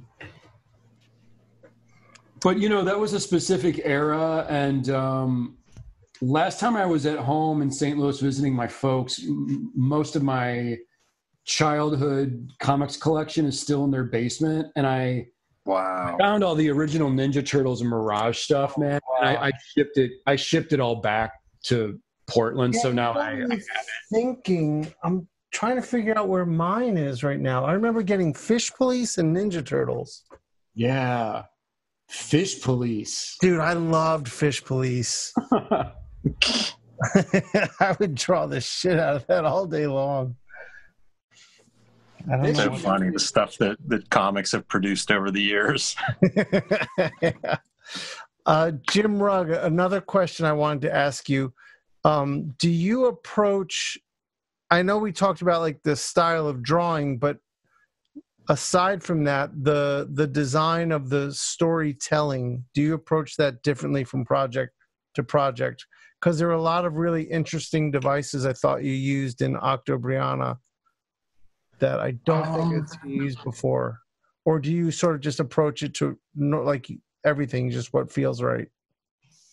Probably kind of everything, you know, what feels right. Um, one, you know, like that's what I love about comics is you can do almost anything. So it's almost like whatever I think of, if I think that'll look cool or that'll work or that'll solve some, you know, problem that I'm trying to, you know, make sure that readers see this or understand this or that. Right. um, you know like pretty much anything's on the table most of the time unless you know, there's probably sometimes whenever I have more specific rules in mind, but for the most part, it's like anything goes. Because Gotcha. you know, like when I was a kid, I loved all the Marvel DC stuff, and then I got sick of that, and I and I found like all the alternative stuff, and then it was like all that and no Marvel DC stuff, and then at some point it was like, oh no, I still like looking at that, Right. and it just became like all my comics, like Street Angel, whenever it first came out, it was a combination of all these things that were like, you know, part part Frank Miller and then like part Dan Clowes or something. right. And right. it was strange at the time, but now I feel like that's kind of where we're all at. It's just Yes. you know, whatever Yeah. you're into, Yeah. put it put it on the put it on the page. Yeah, I agree. I, I think like I think Jim and I have talked about this before, but I feel like creatively we're in one of the healthiest places I've seen comics in America be in. Yeah. And, I- and Yeah, anything goes. And um, I don't know if you guys watched the uh, brand new sci-fi documentary on McFarlane. I haven't seen it yet. It's Um, on Sci-Fi it yet Network, either. What's that? It's on Sci-Fi Network. Yeah, but it's on YouTube as well, man. You can just. Okay. I mean, it's like an hour, but uh, it was cool to hear even McFarlane, the Todd father, say, as far as talent goes, there's never been a better time than right now. Like Right. the amount of just sheer murderers that are working in the industry and, and and posting on Instagram and doing their own thing like the level of draftsmanship and just pure drawing skills is being pushed to like another level you know i mean just think of all of our friends we know from like I know. Canetti to Daniel Warren Johnson to Tradd Moore to uh, Ian Bertram to Mike Huddleston to the three of us uh, you know in this video it's like th- there's there's some magical stuff going on right now I agree. I totally agree. Yeah, and by the way, you can also then jump continents or uh, go digital, you know, web comics and stuff. There, it's happening everywhere. You know, it's not like it's just uh, American comics that are having this kind of right incredible creative period. And you know, it's not even just comics. I think it's it, it has to do, I think, with distribution and and somehow with the internet and distribution. Because if you look at like stand-up comics, right? It used to be there'd be a, a couple of people that everybody would know, or you know, you would all run out whenever something new came out. Now it's like I don't know. There's ten thousand of you know, if we really sat down and tried to name all the good cartoonists or all the talented artists we know, you'd have a list in the thousands. Yeah. and in the 90s, it was like, eh, there's 20, you know, there's maybe Yeah. 20, and we I can all mostly right. agree on them.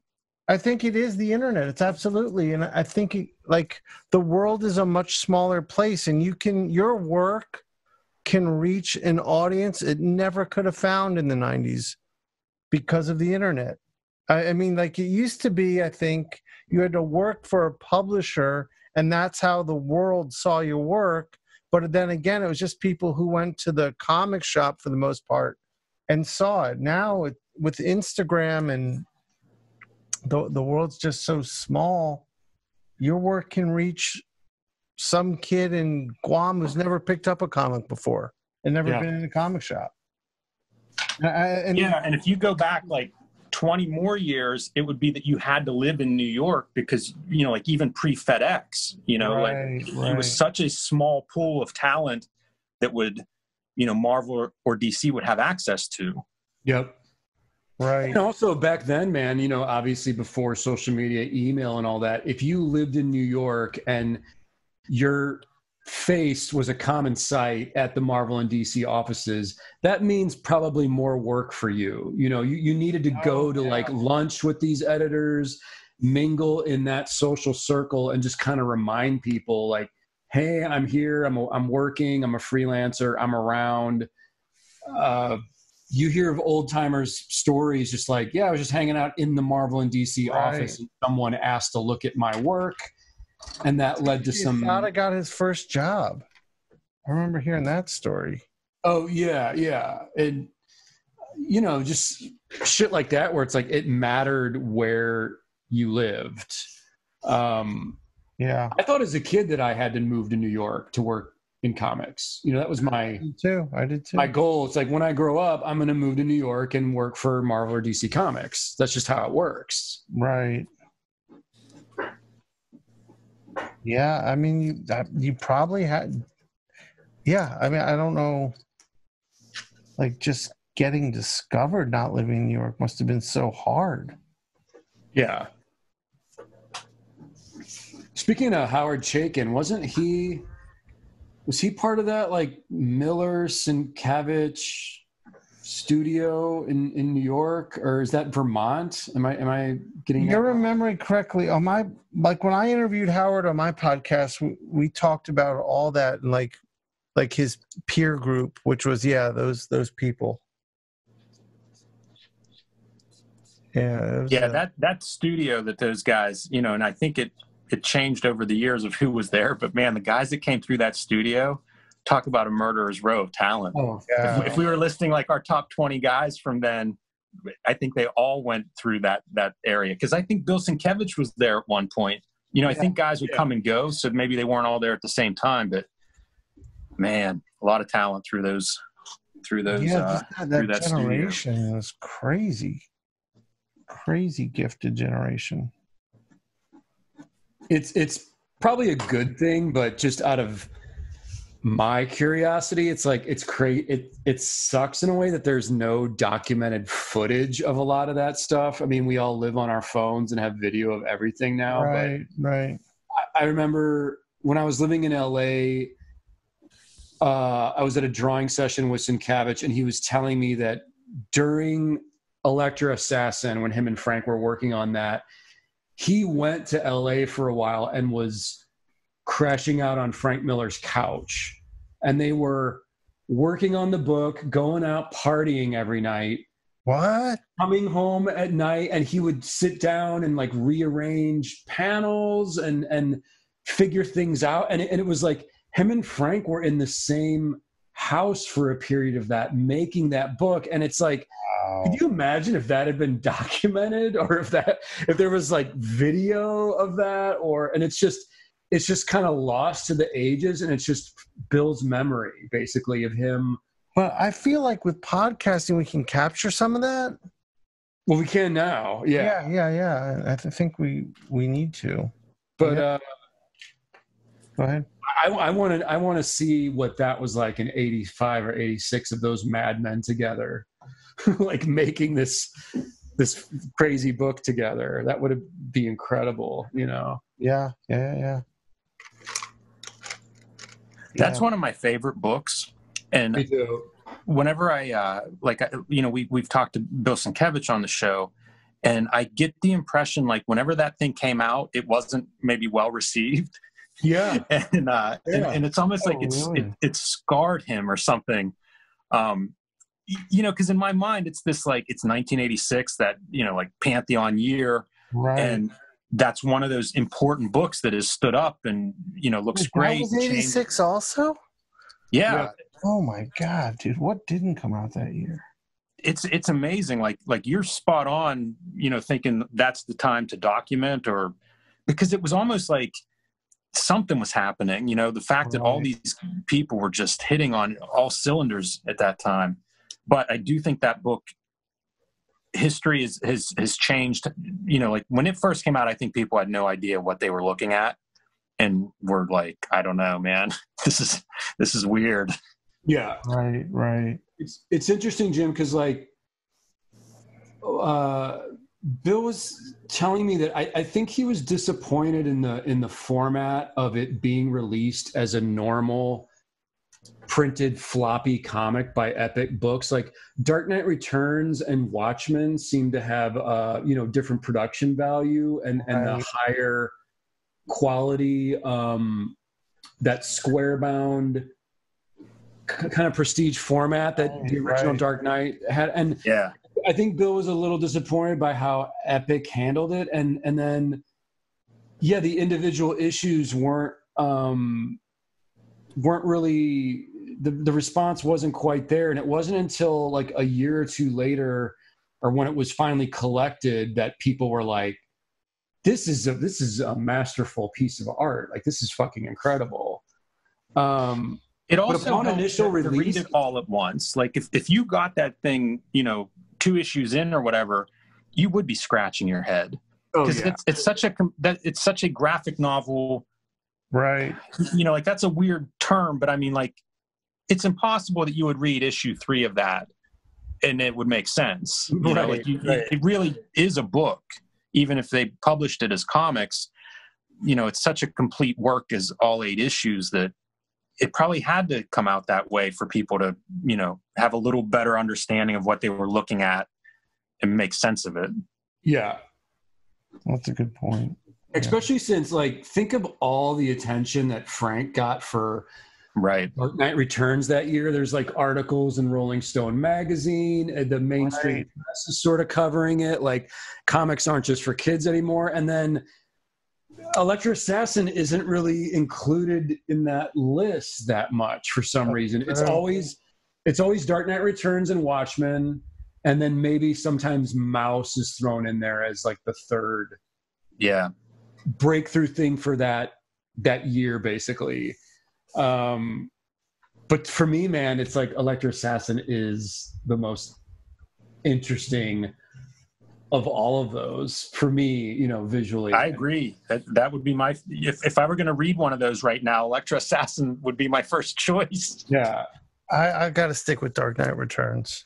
yeah That's still that that was my entrance to this, and it's still my holy grail.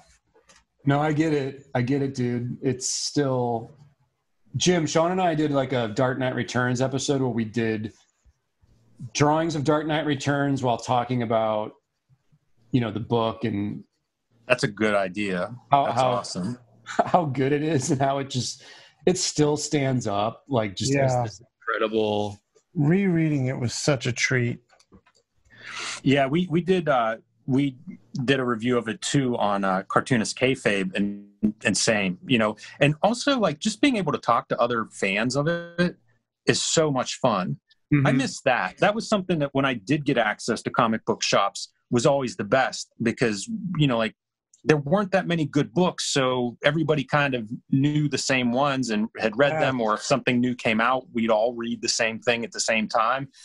I miss that part. You know, like it's one of the trade offs. Like if I were going to make this complaint, the complaint would be there's too much good stuff, which is Yes. ludicrous. but it does have an effect. You know, it's very rare that a book comes out and everybody, uh, you know, like all my friends have read it and, you know, people at the comic shop have read it and you get into these conversations. So it's so great whenever you- we get to do that. That that was one of my favorite things with Dark Knight recently was just having a chance to reread it and then talk to somebody about it. oh yeah Was it just you and Ed talking about that? Tom Scioli was there too. Oh, okay, okay. He's was a real fun guy to talk comics. John, you have to watch the video because Tom Scioli.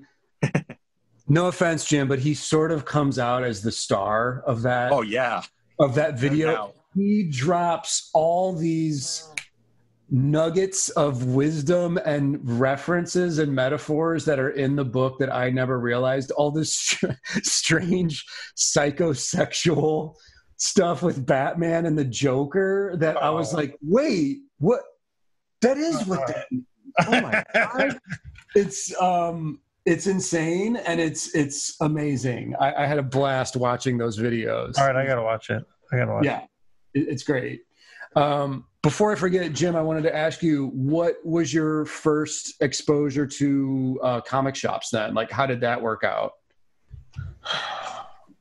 you know it's probably around when image started and around that time like i maybe i'm not sure the timing's exactly right but i also got my driver's license and so then i could go to one that was like mm, maybe 45 minutes or an hour away Sure.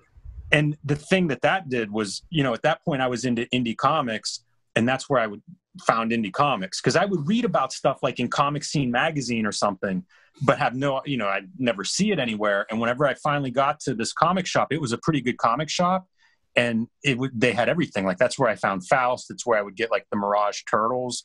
Um, you know Yeah. whatever i had heard of they pretty much had. And they were black and you know like the black and white comics were so big to me because I had no idea how to color anything. I was just working in black and white and it looked like what I was doing and it was interesting and it just really I don't know, re- reignited because you know I was kind of bored with the other stuff that I was seeing at that point, and it really kind of reignited it because it was like here's a whole new bunch of self-publishers and weird books and rule-breaking books and it was huge. Yeah. That's awesome. Yeah. It's a, man, that first time you walk into a store and it's just nothing but yeah. racks of comic books. Like I, uh, Yeah, I remember that. God damn. that was a special, special thing, man. I remember it was walls and walls of like I'd never seen a long box before, and it was just like these stacks of these long boxes. And then Where was that realizing you could pull the lid off those and just dig through the crates like that. Oh yeah. Yeah. What is this place? Were you collecting like monthly comics at that time, Shawn? Uh, yeah, when I first started, like I first I read Dark Knight Returns. I got into comics later. I was 15. Someone gave me a copy of Dark Knight Returns, and it just was like, "Whoa, what the fuck is this? I want I want more." And so I, I, I was in like Hebrew school at the time, and I remember like uh, my best friend was a girl named Rachel, and her cousin was Ryan, and we were like we were good friends. And Ryan was another artist who wanted to do comics, but Ryan knew comics. And I'd never even been to a comic shop. So he had just got his license. And we like got to Hebrew school and he was like, let's go. And we cut and he drove us like 20 minutes away to this comic shop. And that's where I discovered it. So yeah, I just started buying floppies and the ones that I was interested in, I just stuck with and and that's Right. when I learned about the pull box and all that stuff. So yeah, I kind of jumped right into it. You cut Hebrew school to go to the comic shop. I That's how hilarious. much of a nerd am I? Jack Kirby would be so proud of you. I got dude, and No, when I actually, actually, Jack might be upset. Howard Chaykin would be very proud of you. I got to tell Howard the story because my dad comes to pick me up, and uh, I get in the car and he's like, "How was he Hebrew school today?" I was like, "Ah, it was boring, same as always." And he's just like, he at this point, the ra- sorry, the rabbi had called him, so he knows. But he's a lawyer, so he's just he's just giving me rope to hang myself with. And the more questions he asks, the more lies I'm telling. And then he's like, actually, we have to go back. And then he walks me back to the rabbi's office, and the gig was up. That's Oh, hilarious. Shit. Shit. Man. But Yeah. I don't know if I've told this story or not uh, somewhere, probably, but uh, I would get comics like wherever I could find them. You know, it was like I was like a like a like a fiend or an addict or something, and I would find like listings in a newspaper. And whenever I got Howard Chaykin's Black Kiss, it was Oh. like I, I was 16 and I would just drive all over the place, like people's garages and stuff. And so I got to this place, and it was kind of a bad section of the town that I lived near. And up in this dude's attic, and he's selling me Howard Chaykin's Black Kiss. Oh and I had no idea. I'm just looking through this long box, you know, and shouldn't have been there. Probably shouldn't have survived it. But uh, it, all, it all worked out okay. But it could not have been a more lurid place to find that comic. Right.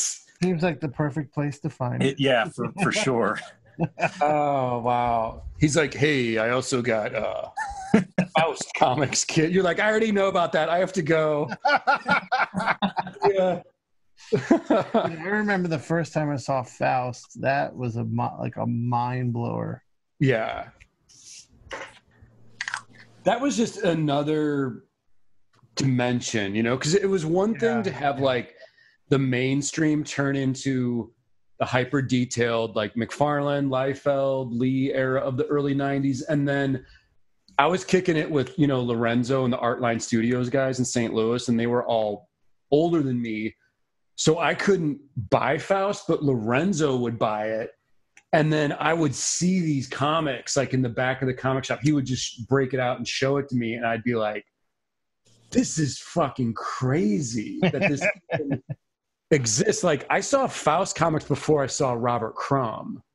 Oh So wow! I mean, really, if you I think I did too. I think I did too.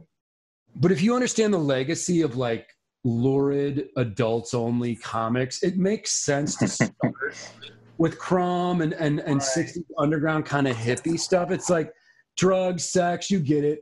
But to not know any of that and then just go directly into Faust where like people are getting their dicks cut off. Right, right.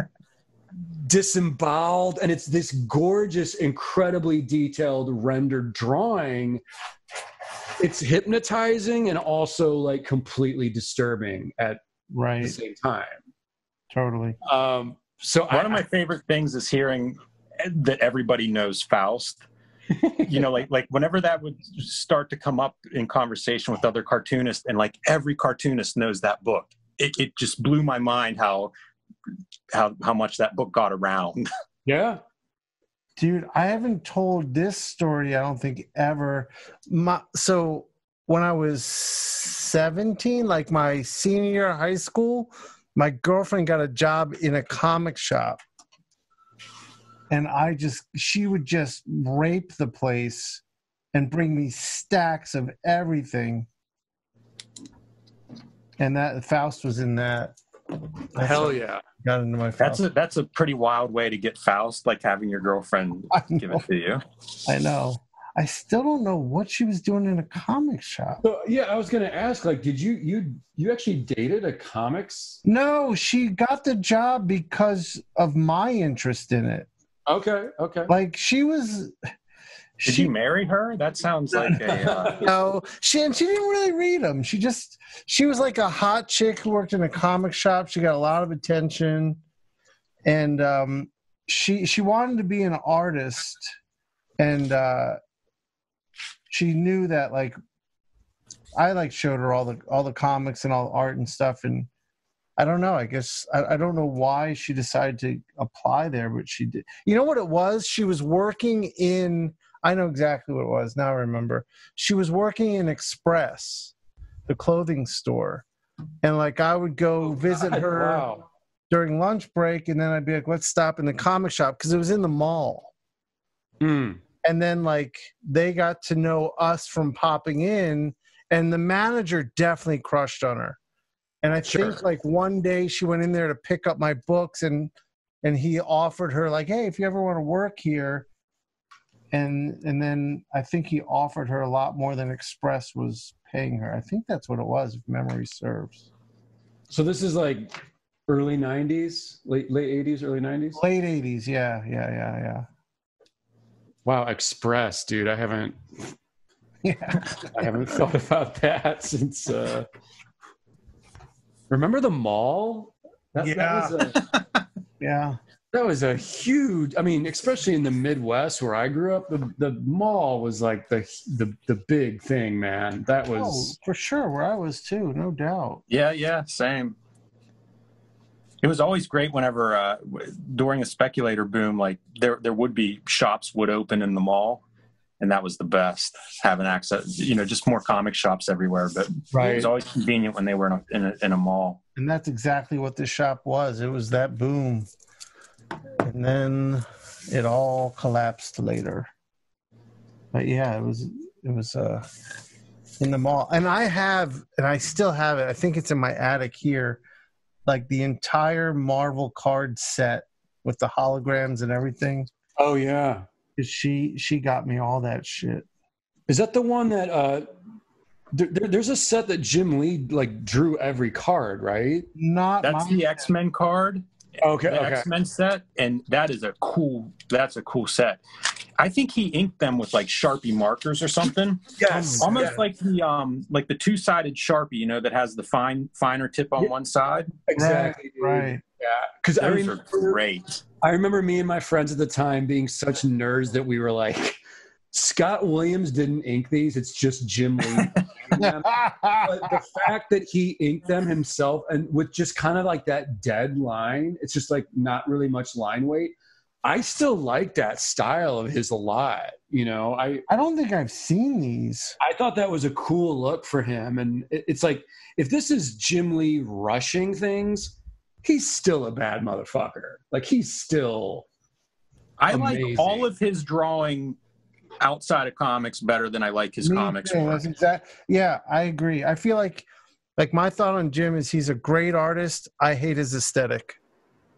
Yeah, it, it's very tight, you know. Um, and I think that's deliberate. I mean, obviously, it's super popular. If, if you're going to hire Jim Lee, that's what you're hiring him for. But man, the, the stuff that he does, like on somebody's drum kit or warm ups or, you know, like these videos of like sketching and drawing, he's phenomenal. Like it's Yeah. so much more interesting to me than that really tight. And I get it, you know, again, people love it and, and it sells, but personally, like I love seeing his other, you Yeah. know, more, more out there stuff. Me too. And even in the like the heyday of that look and, and Jim being like the the like hot X-Men artist, he was not my favorite in that that school of artists at all. Yeah, me either. It's um it's weird to say that it's too good, but uh I like the weird stuff and I, I kind of need I, I don't want perfect art. You know, like if it's too accurate or whatever, it's kind of boring to me. Yeah. So well, okay, this is an interesting interesting conversation. Where are you does Art Adams work interest you at all? Yeah, I like his stuff pretty good, but I don't think of Yeah. his is that perfect. It's very Okay. he has cartoony elements. I like oh, that okay. stuff. I understand what you mean by perfect now. Okay. I got it. Cool. Art is it's the same with all those like 80s black and white indie comics like the the more competent you are in a way the less interesting the comics are Yeah, yeah. Yeah. Yeah. It's like that love that that certain amateurish aesthetic makes the work more charming in a way, or more interesting, you yeah, know. yeah, I can see that. Yeah, I could definitely see And also as as a you know, as a young artist looking at that kind of stuff, it lets you know that you can do this shit one day. You know, you can if this guy can do it, it's it's like, well, I'm not too far away from this. You know, what else do I have to do to get to just this level? yeah i think that a lot like where maybe part of the reason i like it is it is inspiring because it looks like i could do it right, right. I don't mean that in an arrogant way either. I just mean Yeah, I know what you mean. I totally know what you mean. in a practical way. It's like it's like hearing like uh like the Ramones and saying I I could do I could make music. Right. that's exactly right. I was going to say it's it's very much like punk where it's like anybody can do this. Mm-hmm. Jim, one of the things I like when you guys talk on kayfabe about the image era, you've mentioned it in different videos where you guys say the one of the coolest things about the Liefeld McFarlane era, especially Liefeld, is that work looks like the work of the best kid in your high school class. Right. Yeah. Right. and, and that that's inspiring because it's like well wait a minute i think i can do that like i probably can't draw like neal adams but this new batch of weirdos doing this hyper liney detailed work with incorrect anatomy it's like this this resonates more with a younger teenage kind of um angst ridden wannabe cartoonist you know Right. Right. Yeah, I, I think that's part of the like their inking even has that quality because it looks like it's done with a pen or something. yeah You know, the brush being this That's exotic, true. That's true. perfect line tool, but those their stuff was like, oh yeah, man, I can do this. You know, I can do this with my uh, Uniball or whatever. I, I think that that's uh, you know I stand by that. I think that's uh, that's a, it's part of the, part of that work. It's funny because, like, hearing what you guys talk, like, I went in such the other direction where I was like, I have to learn how to use the brush. I, I have to like, like, seeing that people were using like, like microns and pens and stuff made me not want to use them because I, I don't know. I wanted to, I wanted to take the harder route to get that look. I guess right that that I was more.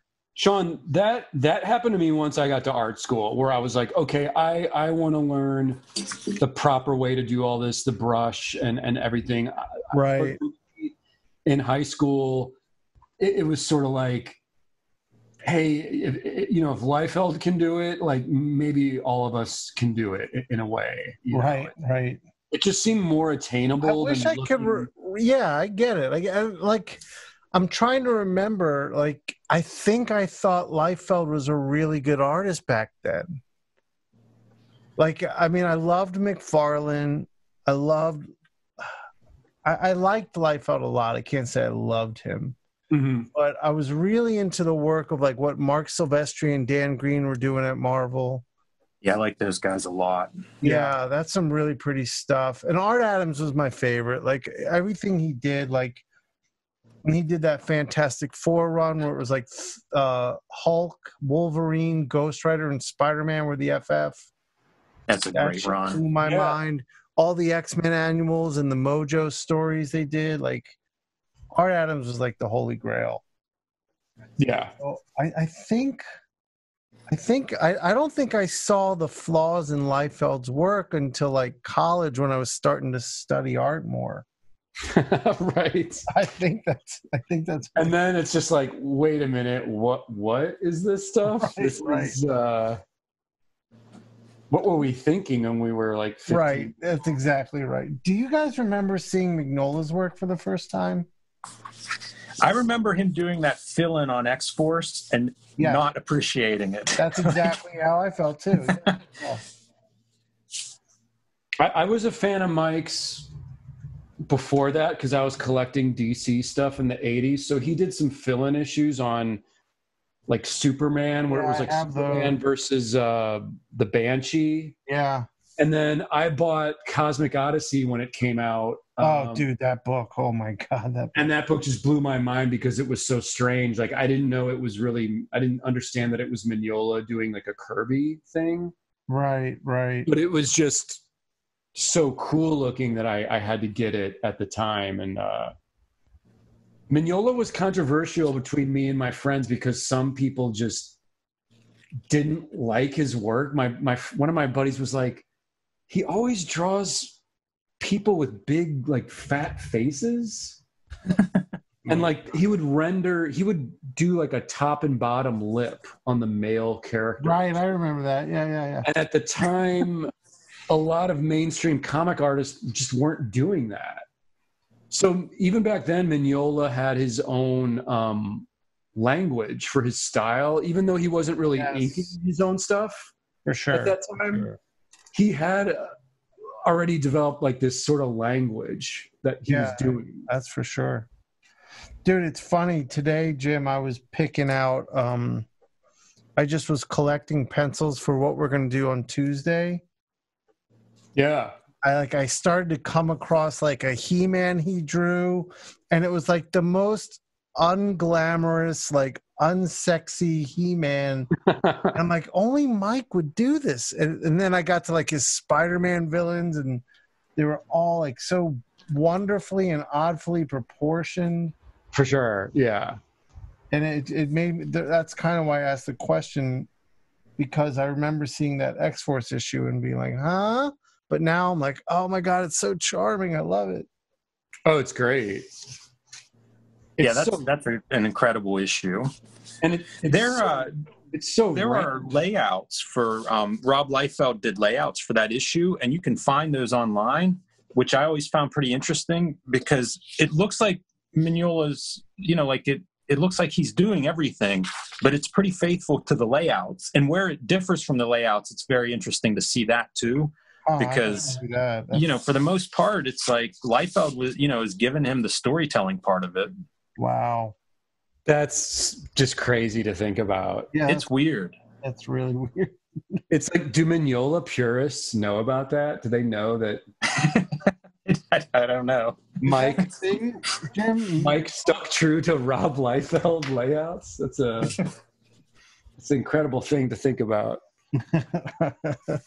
Funny to refer to them as purists. yeah, I, I like the idea. purists. There's there's this group of Mignola purists. I like that. They're they're out there. I mean, it's ironic too, man, because I consider Mike to be one of the best like storytellers. Yeah. So him having to follow anyone's layouts, much less Liefeld, is sort of Yeah, that's crazy to me. like laughable if you think about it now. Yeah, I think that's probably just how um like how Liefeld was writing that book at the time. oh, you know. right, right, right. I guess I, I don't know. It's neat though, and like I said, you can find them online, so you can do the comparison for yourself, and it's just kind of cool to see all of that. You know, like it's it's a, it's a funny mashup. Do you guys have the uh, Hellboy in Hell artist edition? No. I do not. Oh man, I'm so glad I brought this up. Then, well, you you should uh, rush out and get it. okay, great. that one's Here's what's so great about it. It's not the lettering's not on the boards, so it's this wordless version of Hellboy in Hell, and it Oh. reminds me of like um, Jim Woodring's Frank. Oh, Yeah. yes. where it's just Hellboy wandering through these incredible landscapes of of hell, Oh. and it's so good in black and white. The thing that I never understand about how he works is that he's able to get three layers of depth with black and white. yeah, It's it's very peculiar. yeah, yeah. It, I'm not sure which artist edition it was, Jim, but I saw, I think, a different one that Mignola did with Hellboy, and it was fantastic. But his originals are so clean and precise that it was almost like it didn't need an artist edition because what you see is what you get. Uh, if Yeah. that, if that makes sense. Like with my artist Yeah. edition, I, I want to see the white the whiteout, the painting, the mistakes, the and with Mignola, it's like, well, these pages are all perfect. It's just Right, right. it's just in black and white. Like, I mean, this is cool, but uh, he's so good that I'm not seeing like all the hidden magic uh, necessarily. But I have not seen the Hellboy in Hell one. I'll I'll I'll check that one out. That sounds awesome. I Well, have you know what? I saw his pages before that book came out. Like like before the book came out, um, I was somewhere and, and he had pages, so we were looking at him, and it's a very thin ink that he like spots the blacks with. At least yes. if, if my memory's right on these pages anyway. In the uh, artist edition, it looks like they've maybe increase the levels so that it is more of a flat black rather than like seeing like the wash, kind of the wash like fill. Mm, And okay. that bothers me, but purely as like a comic book. It's my favorite version of Hellboy in Hell. Like it, it reads in that format with no words and in black and white, and it's just this gorgeous. It's also like at scale, there's something powerful about his work at that full scale. Like it's Yes. almost uh, I, I, like it's like the ideal size for it or something. I don't know. I was I was pretty impressed with it. Usually, I'm I'm like you, Jim. I want to see all the blemishes and you know secrets and marks and stuff. But this one is almost like think of it as a graphic novel rather than a um, an artist edition, and it's just a pleasure to sort of read. You know, compared to like you know like the Mazzucchelli Daredevil was amazing for looking at Yeah, process. I love that one. I love that one. Uh, it's, it's very different to Hellboy in Hell, but it's it's its own thing, and it's it's pretty spectacular for that part. I've got the uh, the screw on head artist edition, and and in that uh, Jim Rugg, you can see all the like the the thin inks, like the almost like washy look of everything. And I mean, talking along those lines, like it, I won't even use an ink like that. Like Jim, you like my originals look like the page, like they're the same thing. Oh yeah, yeah, yeah. That's my obsessive craziness. There was a um, Jack. Kirby artist edition that Mike Royer inked. It might have been the first one. It was like a, a New Gods, I think, and I had that reaction of it looks like photocopies, like like Mike Royer's. So you know his inking was so precise, Right. but it's very flat blacks and super clean. Nice to look at, but not not like the artist edition quality of you know Right. Weird discolorations and Oh, for sure. stuff. I mean, if it was up to me, I would own every single artist edition that's been made. It just becomes a money issue and a storage issue with those things. Yeah. I mean, they're all, most of them are all so beautiful. It's it's like, yeah, you don't have to twist my arm to, I to still have to get get me to go get that. It's just uh, what what section of my house do I need to build a new wing onto to store all these uh, artist edition books? right. Man, I hear that. I still have to get those Kelly Jones ones that you have, Mahfood. Oh yeah, Jim Rugg. If you haven't seen it, the Kelly Jones Batman Artist Edition is out of this world. I haven't seen that one. It's, I'll have to look nuts, for it. man. When you look at it in that format, it's um John Beatty inking Kelly Jones when they and and to think that that was a monthly Batman comic in the mid '90s.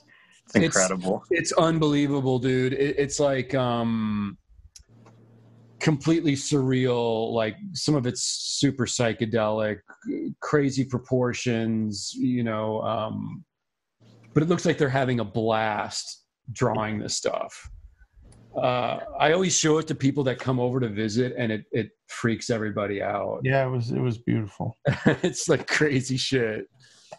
That's cool. I need to come over and look at it. Mm.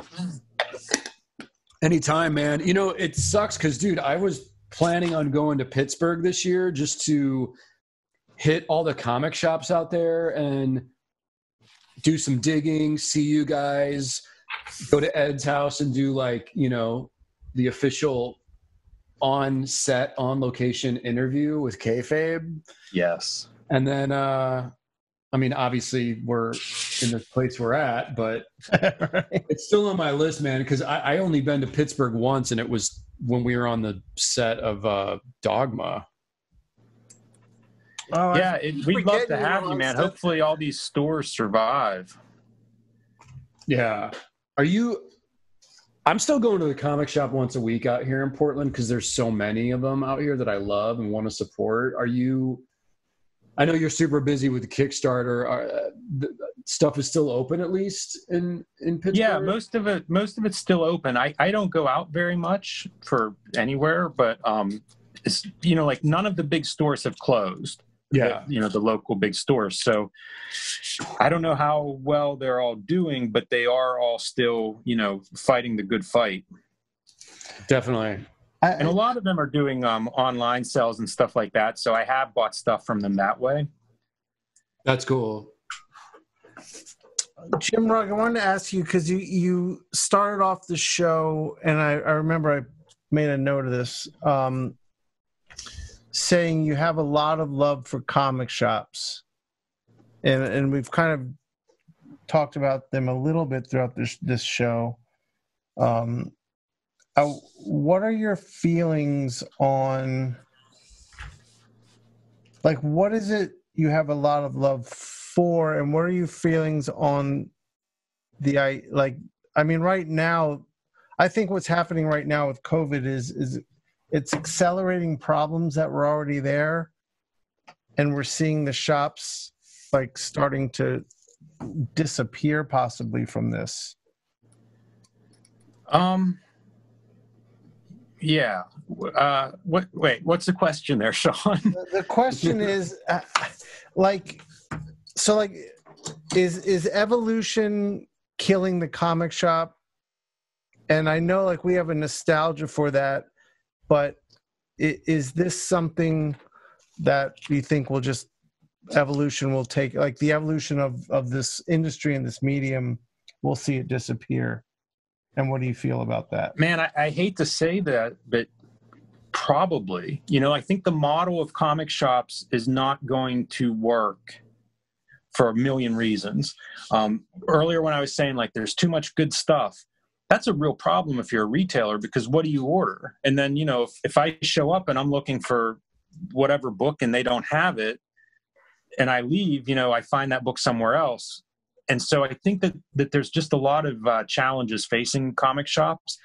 I even think calling, you know, like thinking about them as a unit is even a mistake because mm-hmm.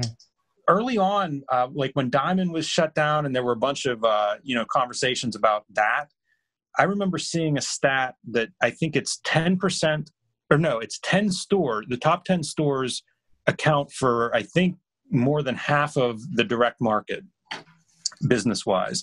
So if there are like say oh, 2000 wow. stores and 10 of them do, you know, as much business as the other 1990, it's weird to even think of those two groups as the same thing. Like they just right. aren't the same. So right. You know, like we've all been to lots of comic shops. They're all very different. Every shop I've ever been to is totally different. Mm-hmm. They're like these entrepreneurial businesses, and uh, right. I think some of them will survive and adapt, and right. some of them maybe will just you know be done with it um I don't know, man. It's it's it's going to be interesting to see how it goes. Mark Millar's written a lot of or, or talked a lot about what he sees in the near future, and he expects the comics industry to really be strong a year from now, but much smaller. You know, Oh, yeah. many fewer titles and things. And he's basing this on like the history of comics. There are like ten year cycles, and you know, of like kind of creative boom and then contraction or whatever and he feels like we're on the cusp of that next real big creative positive period and i like hearing that and i mean you know there's so many good cartoonists working there's so many good books coming out figuring out how to sell them is a challenge but you know if you have the good material i think the model for selling it will em- emerge but it'll Yeah. probably be different you know it'll be a lot of different little models like kickstarter like um one of the best comic shops I know of is Copacetic Comics here in Pittsburgh.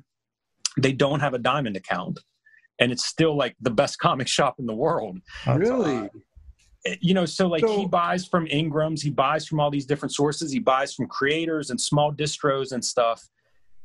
And he knows what he's selling really well. So people come in and he's able to very quickly talk with them and, and point you at stuff that you don't even know existed until you, you know, until you walk through the door. So I think there are other stores like that. Um, I, but I, you know, I mean, who know? I don't know really anything about retail, so it's hard for me to say too much about this and, and actually know what I'm talking about. I just don't.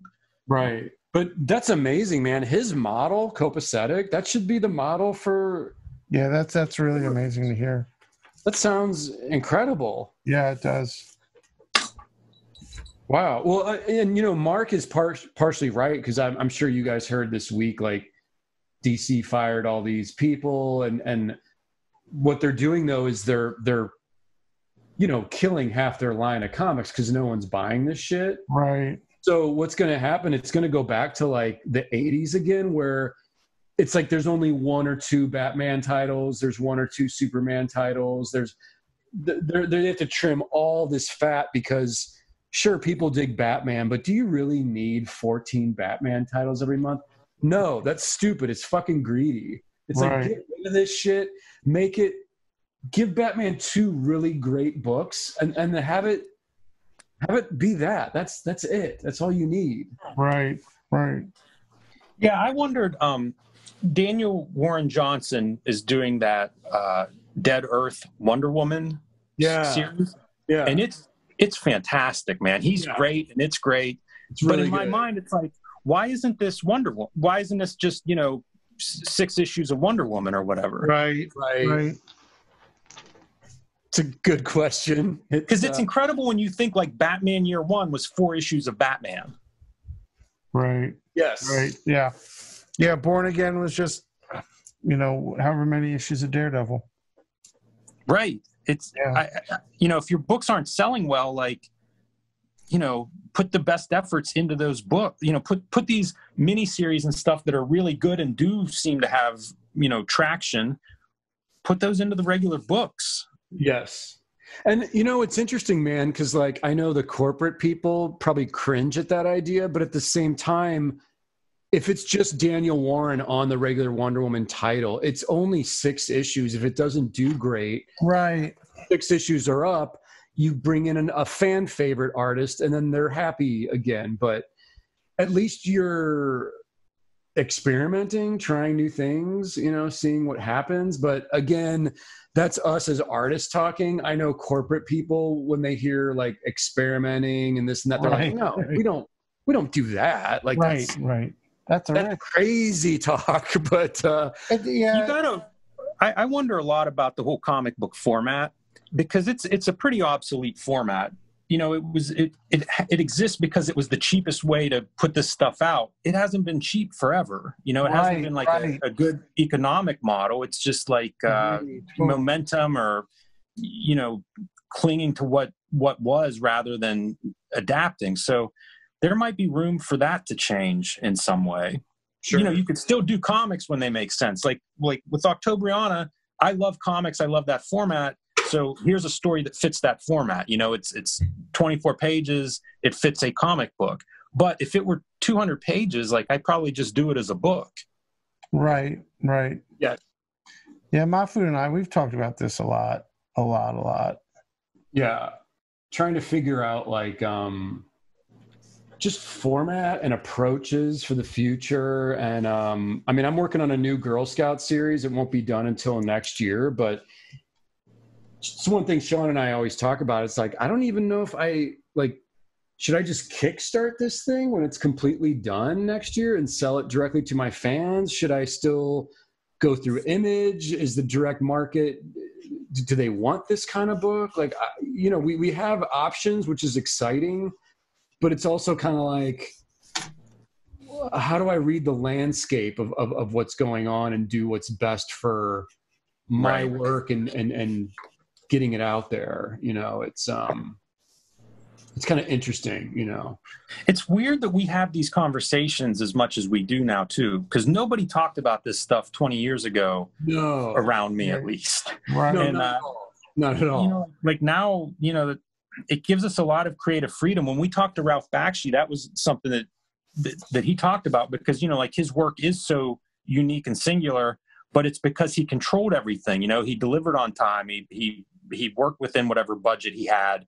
You know, it was like being in control of the business side of it allowed him to be super creative right you know and, and I, I feel like that's been my experience making stuff but it is different like it does take time away from sitting at the drawing table you know Right, right.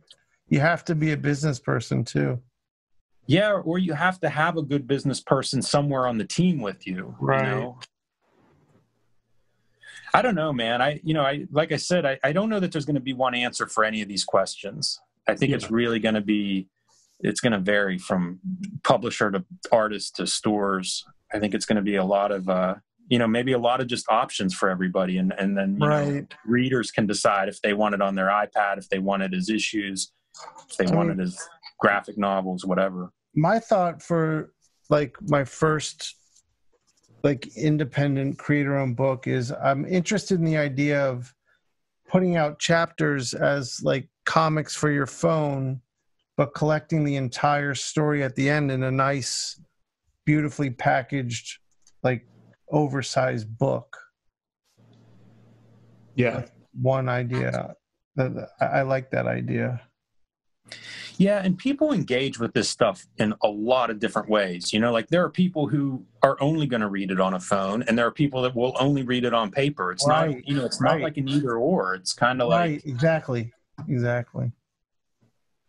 I actually I, I like that part a lot. You know, the idea that you can package this stuff in these different ways, and with print on demand and all the different things that are out there, you know, it's not like you have to have a forty thousand print run for something to be profitable.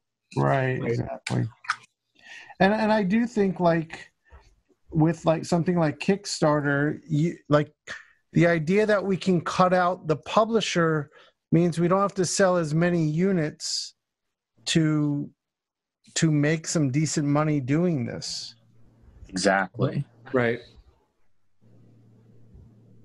yeah it's kind of like the sky is the limit it's just figuring out where you as an individual creator fit into all this you know right right